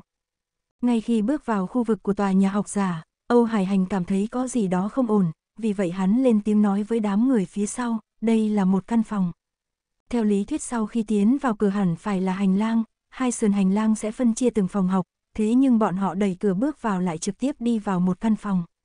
Sau khi nghe Âu Hải Hành nói xong, một số người chơi liền lập tức rút lui, do dự đứng ở cửa không vào. Thẩm Thanh Thành, âm dương nhãn lúc này đã mất hiệu lực chờ đến không kiên nhẫn, trực tiếp duỗi tay giúp đối phương một phen. Chết tiệt, ai đẩy tao? Người chơi bị đẩy mạnh lên tiếng chửi đồng. Nguồn sáng từ thiết bị đầu cuối hoàn toàn biến mất trong căn phòng này. Tôi quá, ô ô ô ô, ai đó có thể bật đèn không?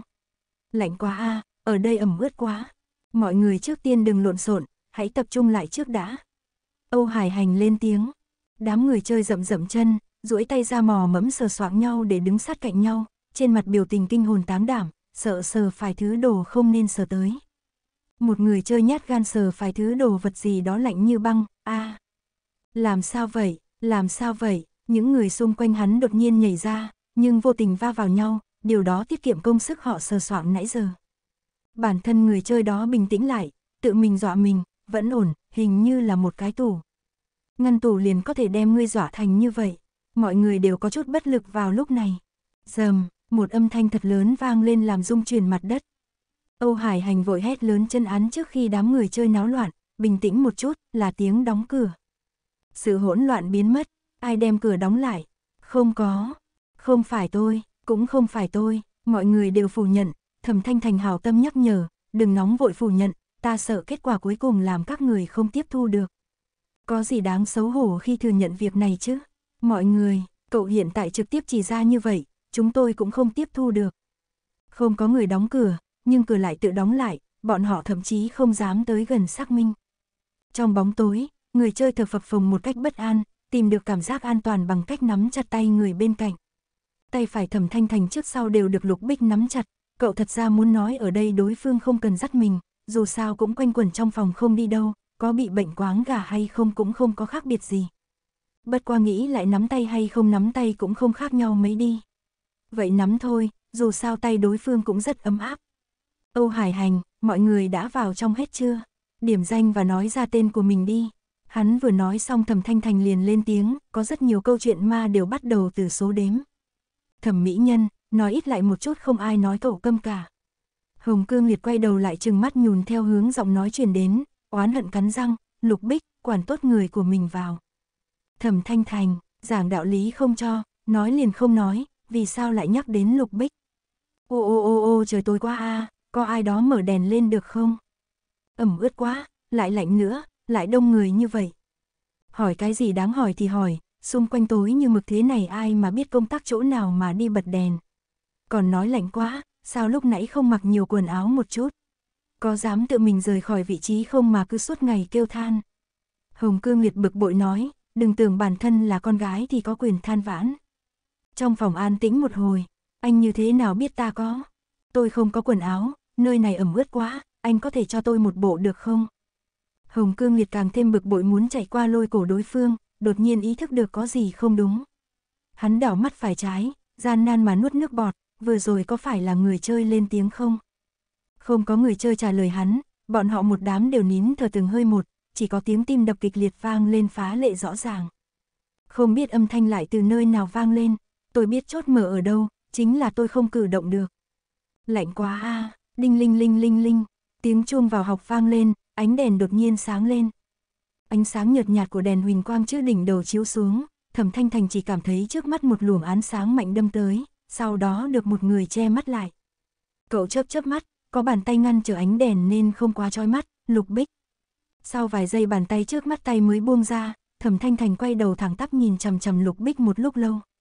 Nam nhân đứng đối diện cậu đang nhìn lên thứ gì đó, đỉnh mày cong lên, sơn mặt góc cạnh cùng từ yết hầu giật giật mang đến vẻ gợi cảm khó tả, bộ dáng lãnh đạm trầm ổn phảng phất như hành động vừa rồi là việc hết sức bình thường. Trong lòng thẩm thanh thành dâng lên một cổ cảm giác phi diệu, cảm giác phi diệu này bắt nguồn từ việc cậu chủ động hòa hợp trong mối quan hệ giữa hai người, hiện tại việc chủ động lại biến thành của lục bích. Đèn huỳnh quang trên cao chiếu sáng toàn bộ không gian. Người chơi đánh giá tình hình xung quanh, sau khi thấy rõ hoàn cảnh xung quanh liền kinh ngạc, thì ra nơi này chính là phòng thí nghiệm mà bọn họ vừa đi ra cách đây không lâu. Nhưng lối vào hành lang đã biến mất, bất qua thông hướng hành lang nhập khẩu không thấy. Màn hình LCD trên tường lóe lên và bắt đầu phát video phẫu thuật phiên bản hoạt hình quen thuộc, một người mặc áo blau trắng mang khẩu trang trắng dơ lên dao phẫu thuật, âm thanh giải thích hỗn tạp truyền ra, vừa kinh tủng lại quỷ dị. Một tiêu bản xương người đứng ở cửa, mô hình nội tạng các loại mô hình cùng chai lọ vải bình chỉnh tề mà được đặt trên kệ, chiếc bàn vuông dài vốn được ghép ở giữa thay thế bằng một bình trong suốt lớn. Vật chứa bên trong đựng đầy chất lỏng đồng dạng trong suốt, một khối thi thể nữ nhân trần truồng trong tư thế ôm hai chân cuộn tròn ở bên trong. Đoạn trí sinh, người có vết thương ở chân, dưới ánh sáng đột một không cẩn thận lảo đảo va vào bình chứa, chất lỏng trong suốt bên trong theo chuyển động gợn sóng. Nước gợn đung đưa đầu tóc nữ nhân, một khuôn mặt bị ngâm đến trắng bệch dùng đôi mắt từ khí trầm trầm mà nhìn chăm chú vào hắn. Đoạn trí sinh trừng lớn mắt, trong nháy mắt trái tim đình chỉ. Thẩm thanh thành kéo hắn sang một bên, khom lưng nhìn chằm chằm nữ nhân trong vật chứa, vừa lạnh lại vừa ẩm ướt, vừa rồi chính là nó đang nói chuyện. Vừa mới quay lại nhìn đoạn trí sinh, cô ta thật sự mở miệng nói chuyện, những chất formalin kia không chảy vào miệng sao, không biết có vị gì nữa. Cậu tỉnh bơ phun ra một đống câu hỏi, sau đó nhìn về phía cửa, còn nói không thể động đậy chính là bộ xương người kia đi.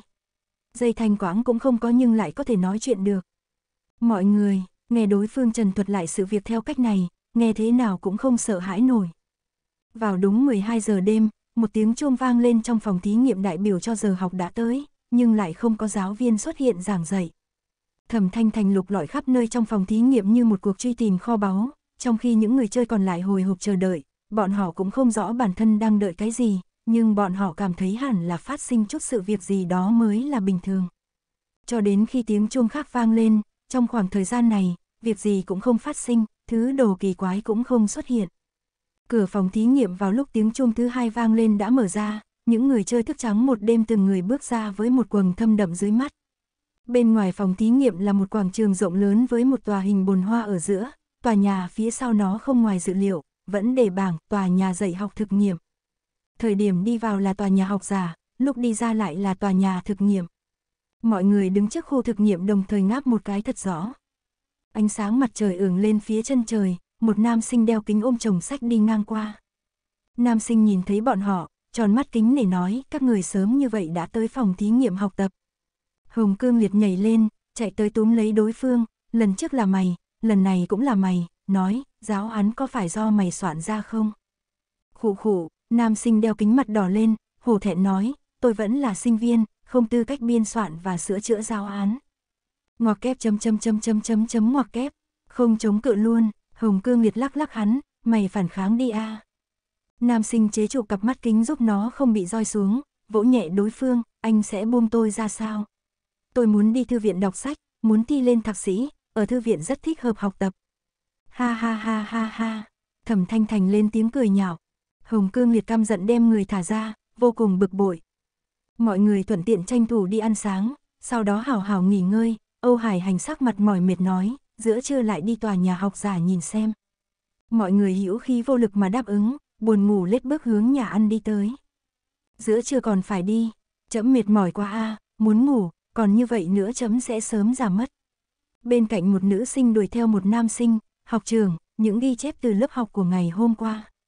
Nữ sinh đuổi theo nam sinh, hai người sóng vai đi xa.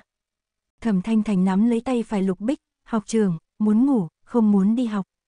Nam nhân bên cạnh dừng một chút, khàn giọng hỏi, học trường, ca ca, còn gì nữa? chương 73, suy đoán, đề này ta biết, kêu lão công a a a a.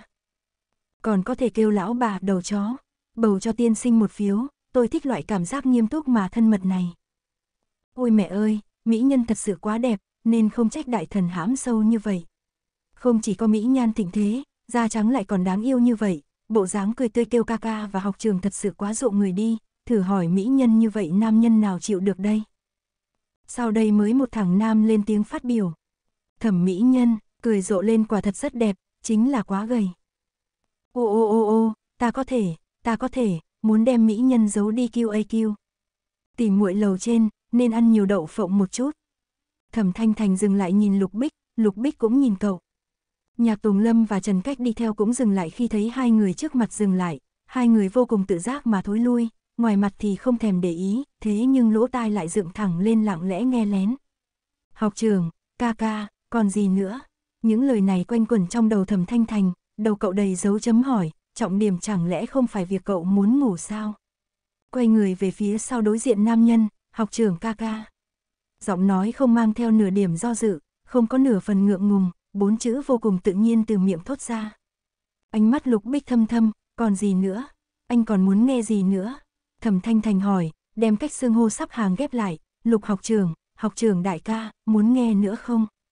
Ánh mắt lục bích bình tĩnh, trong lòng không khỏi không nghĩ nhiều, liệu người trước mặt hắn có dùng những cách xưng hô như vậy để đối thoại cùng người khác không?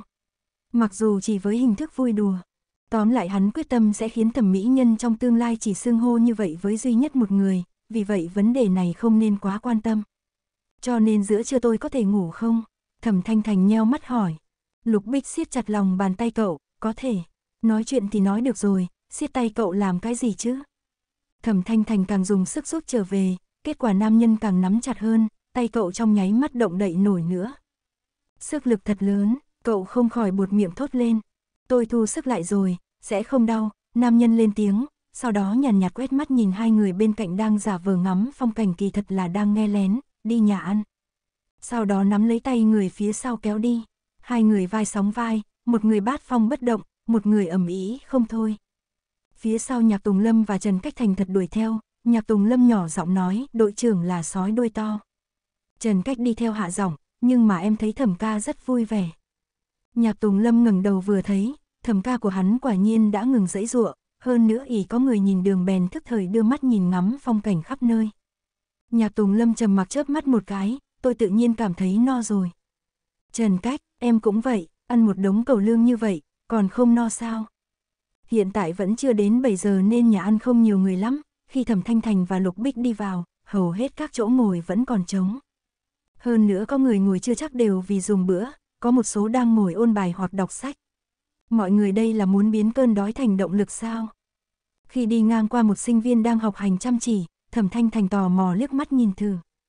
Sinh viên đó đúng lúc ngẩng đầu, ánh mắt tự nhiên dừng lại trên người Thẩm Thanh Thành soái khí và Lục Bích Tuấn Mỹ, sau đó rời tầm mắt nhìn vào bàn tay thật chặt của hai người.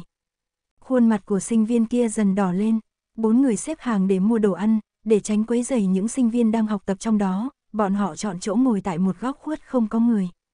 Sau khi ngồi xuống, Thẩm Thanh Thành nhấp một ngụm sữa đậu nành nóng hổi, cậu có thói quen ăn thanh đạm vào buổi sáng, lúc này thoải mái thở nhẹ một hơi. Lục Bích ngồi bên tay trái cậu, đặt một cái bánh tôm kẹp vào bát thẩm mỹ nhân, ngẩng đầu nhìn phía đối diện, có ý kiến gì không? Nhạc Tùng Lâm bị hỏi tới vội vàng đem mì trong miệng nuốt xuống. Màn hình LCD trên tường phòng thí nghiệm luôn phát đi phát lại đoạn video khâu chân tay bị đứt. Em đoán nó có thể liên quan đến vết thương trên chân của đoạn trí sinh. Lục Bích chưa nói đúng hay sai, ai trước ai sau. Nhạc Tùng Lâm nghĩ nghĩ, lớp học bình thường sẽ chủ trương giảng dạy theo năng khiếu vốn có của sinh viên, có vẻ hợp lý khi nói chân bị chấn thương sau đó mới được khâu lại, nhưng vốn đây không phải một tình huống bình thường. Chân của đoạn trí sinh, theo cách nói của hắn, do bị đồ vật kéo xuống, cho nên hẳn nên nói, chân bị tác động trước, sau đó mới bị thương. Người, biên soạn nên giáo án chắc chắn sẽ có phân đoạn khâu lại, vì vậy mới tác động chân đoạn trí sinh để hắn bị thương, sau đó khâu lại. Bất qua đoạn trí sinh hình như cũng chỉ bị thương nhẹ. Nhạc Tùng Lâm kỳ quái nói, so với những phó bản trước, động một cái liền có người chết, những vết thương chỉ bị khâu lại trên chân đoạn trí sinh xác thật là còn nhẹ. Trần Cách, bởi vì cấp độ màn chơi tương đối thấp phải không? Lần này thời hạn thông quan là 20 ngày. Nhạc Tùng Lâm không ủng hộ, tôi không nghĩ thế. Hai người bao gồm Thẩm Thanh Thành, vốn đang nghe náo nhiệt đồng loạt quay đầu nhìn về phía Lục Bích, chờ đối phương chia sẻ cái nhìn của bản thân về việc này. Lục Bích hỏi một vấn đề, quyết định việc này phải trình tự, cũng chính là người biên soạn giáo án, nó ở đâu? Hắn không hỏi có ở đây không, mà là trực tiếp hỏi ở đâu, bởi vì Lục Bích tin tưởng đối phương nhất định ở đây, nhất định trốn ở chỗ nào đó chăm chú theo dõi bọn họ. Nó ở, Trần Cách kinh ngạc một chút, thiếu chút nữa bị nghẹn bánh bao, nói không chừng là do chúng ta nhìn không thấy nó. Nhạc Tùng Lâm lắc đầu phủ định, sẽ không, dựa theo quy luật của phó bản, nó nhất định đã xuất hiện qua trước mặt chúng ta, chỉ là chúng ta không phát hiện. Nhất định sẽ xuất hiện, thẩm thanh thành suy nghĩ về những gì bản thân đã trải qua, phó bản thí nghiệm, âm dương nhãn của cậu vẫn chưa bị phong ấn, không tính. Phó bản đầu tiên, tề Mỹ ngụy trang thành lục bích mà hiện hình, xuất hiện qua. Phó bản thứ hai càng không cần phải nói, ngoại trừ con thỏ cùng hồ ly, chim nhỏ xấu xí mang theo gấu đen mỗi ngày đều xuất hiện dưới mí mắt bọn họ, xuất hiện qua. Phó bản thứ ba, quỷ quái ngụy trang thành tiếp viên, xuất hiện vua. Phó bản thứ tư, người ca ngụy trang thành thuyền viên tiếp dẫn bọn họ, cũng xuất hiện qua. Từ những việc này, xem ra quỷ quái trong phó bản này, tức người biên soạn giáo án, nói không chừng thật sự đã xuất hiện qua, nhưng bọn cậu không biết là ai. Thẩm Thanh Thành không thể không nghĩ lại, từ lúc tiến vào căn phòng đông lạnh cho đến giờ, bọn họ đã gặp phải người nào không phải, nhân loại, chưa? Cậu cao mày, quá nhiều, đối phương trong tối, bọn họ ngoài sáng, trong trường lại nhiều sinh viên như vậy, nếu như đối phương ngụy trang thành một sinh viên nào đó đi ngang qua, âm dương nhãn của cậu vốn đã bị phong ấn cũng sẽ không nhìn ra được. Nhạc Tùng Lâm, hiện tại khả năng lớn nhất chính là nam sinh đeo kính mà chúng ta gặp được khi rời khỏi phòng thí nghiệm. Hai lần gặp được, quá trùng hợp. Còn có hai tiểu tỷ tỷ trong phòng thí nghiệm, thẩm thanh thành nhắc nhở, đồng thời nghĩ về những thứ khác, còn có sinh viên đọc sách lúc nãy nữa mà nhỉ. Lục Bích, không vội, hiện tại mới ngày thứ hai, sau đó chúng ta khẳng định sẽ còn gặp được rất nhiều người. Lục Bích đẩy ly sữa đậu nành đã nguội đến trước mặt thẩm thanh thành, ăn xong trở lại phòng ngủ kể lại những việc cậu đã thấy ở hành lang. Nga, không nói tôi thiếu chút nữa cậu quên mất, trên đường nói, trở về muốn ngủ, cậu cầm cốc lên tu cạn. Bốn người ăn xong liền đi khỏi nhà ăn, trên đường thẩm thanh thành kể lại hình ảnh nửa đêm bản thân nhìn thấy, tôi nhìn thấy lầu 4 có rất nhiều sinh viên vẫn đang sinh hoạt một cách bình thường. Nhạc Tùng Lâm và Trần Cách nghe được liền trợn tròn đôi mắt. Cái gì, cư nhiên còn có những người khác sinh hoạt ở lầu 4, bọn họ tại sao cái gì cũng không thấy. Mắt của anh tương đối đặc biệt, có thể thấy quỷ, nhưng có khi linh khi không linh. Thẩm Thanh Thành sắp xếp lại từ ngữ giải thích một chút. Hai người câu hiểu câu không, cậu nói tiếp, những sinh viên kia không phải quỷ, giống từ một đoạn hình ảnh trong quá khứ được tái hiện lại, quần áo và những thứ họ sử dụng đều đã có niên đại, và họ cũng học y. Đây, đây được xem như manh mối phó bản cung cấp không? Trần Cách ngốc ngốc hỏi. Không tính, là Bắc, bất quá Bắc chính là đôi mắt của cậu, những hình ảnh đó cho thấy trường học được xây dựng đã rất lâu, có chút lịch sử, cái này cha giáo sử là có thể biết, cái người biên soạn giáo án liệu có phải cũng là đồ cổ không nhỉ? Lục Bích, có lẽ, thẩm thanh thành ngẫm lại cũng đúng, những gì cậu phát hiện chỉ có thể đưa ra đáp án này. Cậu chỉ đơn giản sử dụng suy nghĩ của Lục Bích sau đó liên hệ lại lúc đầu, trong căn phòng đông lạnh đó nó ở đâu. Kéo chân đoạn trí sinh, không phải, đồ vật vô pháp câu thông, nó giống như một tàn hồn còn sót lại từ việc linh hồn bị ăn không tiêu hóa được nên bị nhả ra. Rời khỏi băng phòng là hành lang và phòng thí nghiệm, từ phòng thí nghiệm đi ra, cho đến bây giờ bọn họ trên đường trở lại phòng ngủ, bao gồm thời điểm người chơi ở trong phòng ngủ, nó ở đâu. Nửa đêm không xuất hiện, nó không có khả năng cái gì cũng không làm, rất có khả năng đúng như lời Lục Bích nói, vẫn luôn trốn ở chỗ tối trộm quan sát bọn họ. Quan sát bọn họ khi nào sẽ phạm sai lầm. Thẩm Thanh Thành trích ra một đoạn từ ký ức về trường học của mình và luôn cảm thấy buồn chán, và khi cậu ngửa đầu lên nhìn thì thấy chủ nhiệm lớp đang nhìn chằm chằm cậu xuyên qua lớp cửa kính. Nếu so sánh toàn bộ trường đại học này và một lớp học. Nghĩ đến đây Thẩm Thanh Thành ngẩng đầu, trước mắt là một tòa nhà ký túc xá 21 tầng. Quên đi, đi ngủ trước đã, chờ tỉnh dậy cùng Lục Bích suy nghĩ. Bốn người đi lên lầu 4, thấy chỗ ngoặt WC chân cầu thang, Thẩm Thanh Thành, các người về trước đi, tôi đi WC. WC tầng này ít nhất vẫn còn tính sạch sẽ, không có mùi lạ gì lạ. Cậu đi tới cửa đột nhiên nhớ tới gì đó, đứng lại quay đầu lại hỏi, Lục Bích, muốn cùng nhau đi WC không? Bóng dáng nam nhân dừng lại một chút, không cần, nói xong liền tăng tốc, thẩm thanh thành nhướng mày, cộng luôn cả sự việc tắm rửa vào tối hôm qua, vậy là đây là điểm yếu của Lục Bích sao? Trong đầu phát ra từng loại suy nghĩ, thẩm thanh thành vuốt cằm, hắc hắc hắc, nở nụ cười. a à, thêm vào kịch bản, lần sau liền dùng chiêu này. Thẩm Thanh Thành đi WC vô cùng thỏa mãn, thời điểm trở lại phòng ngủ, trên mặt đều mang theo ý cười không ngớt. Trước bàn học, Lục Bích đang lật một quyển sách liếc nhìn nụ cười trên mặt cậu, gặp được chuyện tốt. Thẩm Thanh Thành cười giày bò lên giường, đúng vậy, gặp được tiểu tỷ tỷ thổ lộ với tôi Nga. Lục Bích rất vui, ngón tay đang lật sách đột nhiên dừng lại. Hai người tự thấy mình dư thừa trong phòng liền nơm nớp lo sợ, run rẩy lầy bầy. Không vui, nơi này là ký túc xá nam sinh, WC Nam. Vì thế tôi lập tức mở vòi nước sau đó đem cô ta ném vào cống thoát nước. Lấy cái chăn mềm đắp lên người, thẩm thanh thành thỏa mãn mà cọ cọ gối đầu, một câu chuyện nhỏ trước khi ngủ, mọi người ngủ ngon. Nói xong liền thật sự nhắm mắt ngủ rồi. Trần Cách, Nhạc Tùng Lâm, ca, đây là buổi sáng. Hai người sau đó quay đầu lại nhìn nam nhân đang ngồi trên bàn học, Nga, đội trưởng đại thần rốt cuộc cũng lật sách tiếp. Toàn bộ buổi sáng, không có việc gì xảy ra, càng yên tĩnh, người chơi càng bất an. Thẩm Thanh Thành không suy nghĩ nhiều như vậy, cậu chính là sinh khí. Cậu ôm chăn, đối với người đã đánh thức mình bất mãn nói tôi muốn đi ngủ. Tuy nói cũng không phải một hai phải ngủ, nhưng trước đó đã nói rồi, Lục Bích Anh, cái người này sao nói chuyện không giữ lời thế này. Cậu càng nghĩ càng giận, dùng chăn đem bản thân quấn chặt để chứng minh quyết tâm, ánh mắt siêu hung. Trong lòng Lục Bích cảm thấy buồn cười, vẫn để cậu ngủ. a nam nhân, anh cho rằng tôi sẽ tin sao? Lục Bích không có kêu cậu, là tự cậu tỉnh dậy. Lại không phải chết, bị đùa nghịch lăn qua lộn lại còn có thể không tỉnh sao. Thẩm Thanh Thành nửa tin nửa ngờ, vậy anh muốn làm gì? Nếu tỉnh liền đi xuống đi, tôi cõng cậu, cậu tiếp tục ngủ. Nam nhân giường dưới vân đảm phong khinh nói. Thời gian đi học lúc nửa đêm là hắn suy đoán, không thể bài trừ khả năng kỳ thật là đi học vào ban ngày, cho nên dưới tình huống mọi người đều không chắc, Lục Bích không thể để thẩm mỹ nhân đơn độc một mình ở lại phòng ngủ. Thẩm Thanh Thành, trước khi cậu có thể hiểu được ý nghĩa sâu sắc của câu này, Thẩm Thanh Thành đã hành động, cậu để chăn qua một bên, tôi có thể. Hết chương, like và nhấn đăng ký để kênh mình ngày một phát triển hơn cảm ơn bạn đã lắng nghe.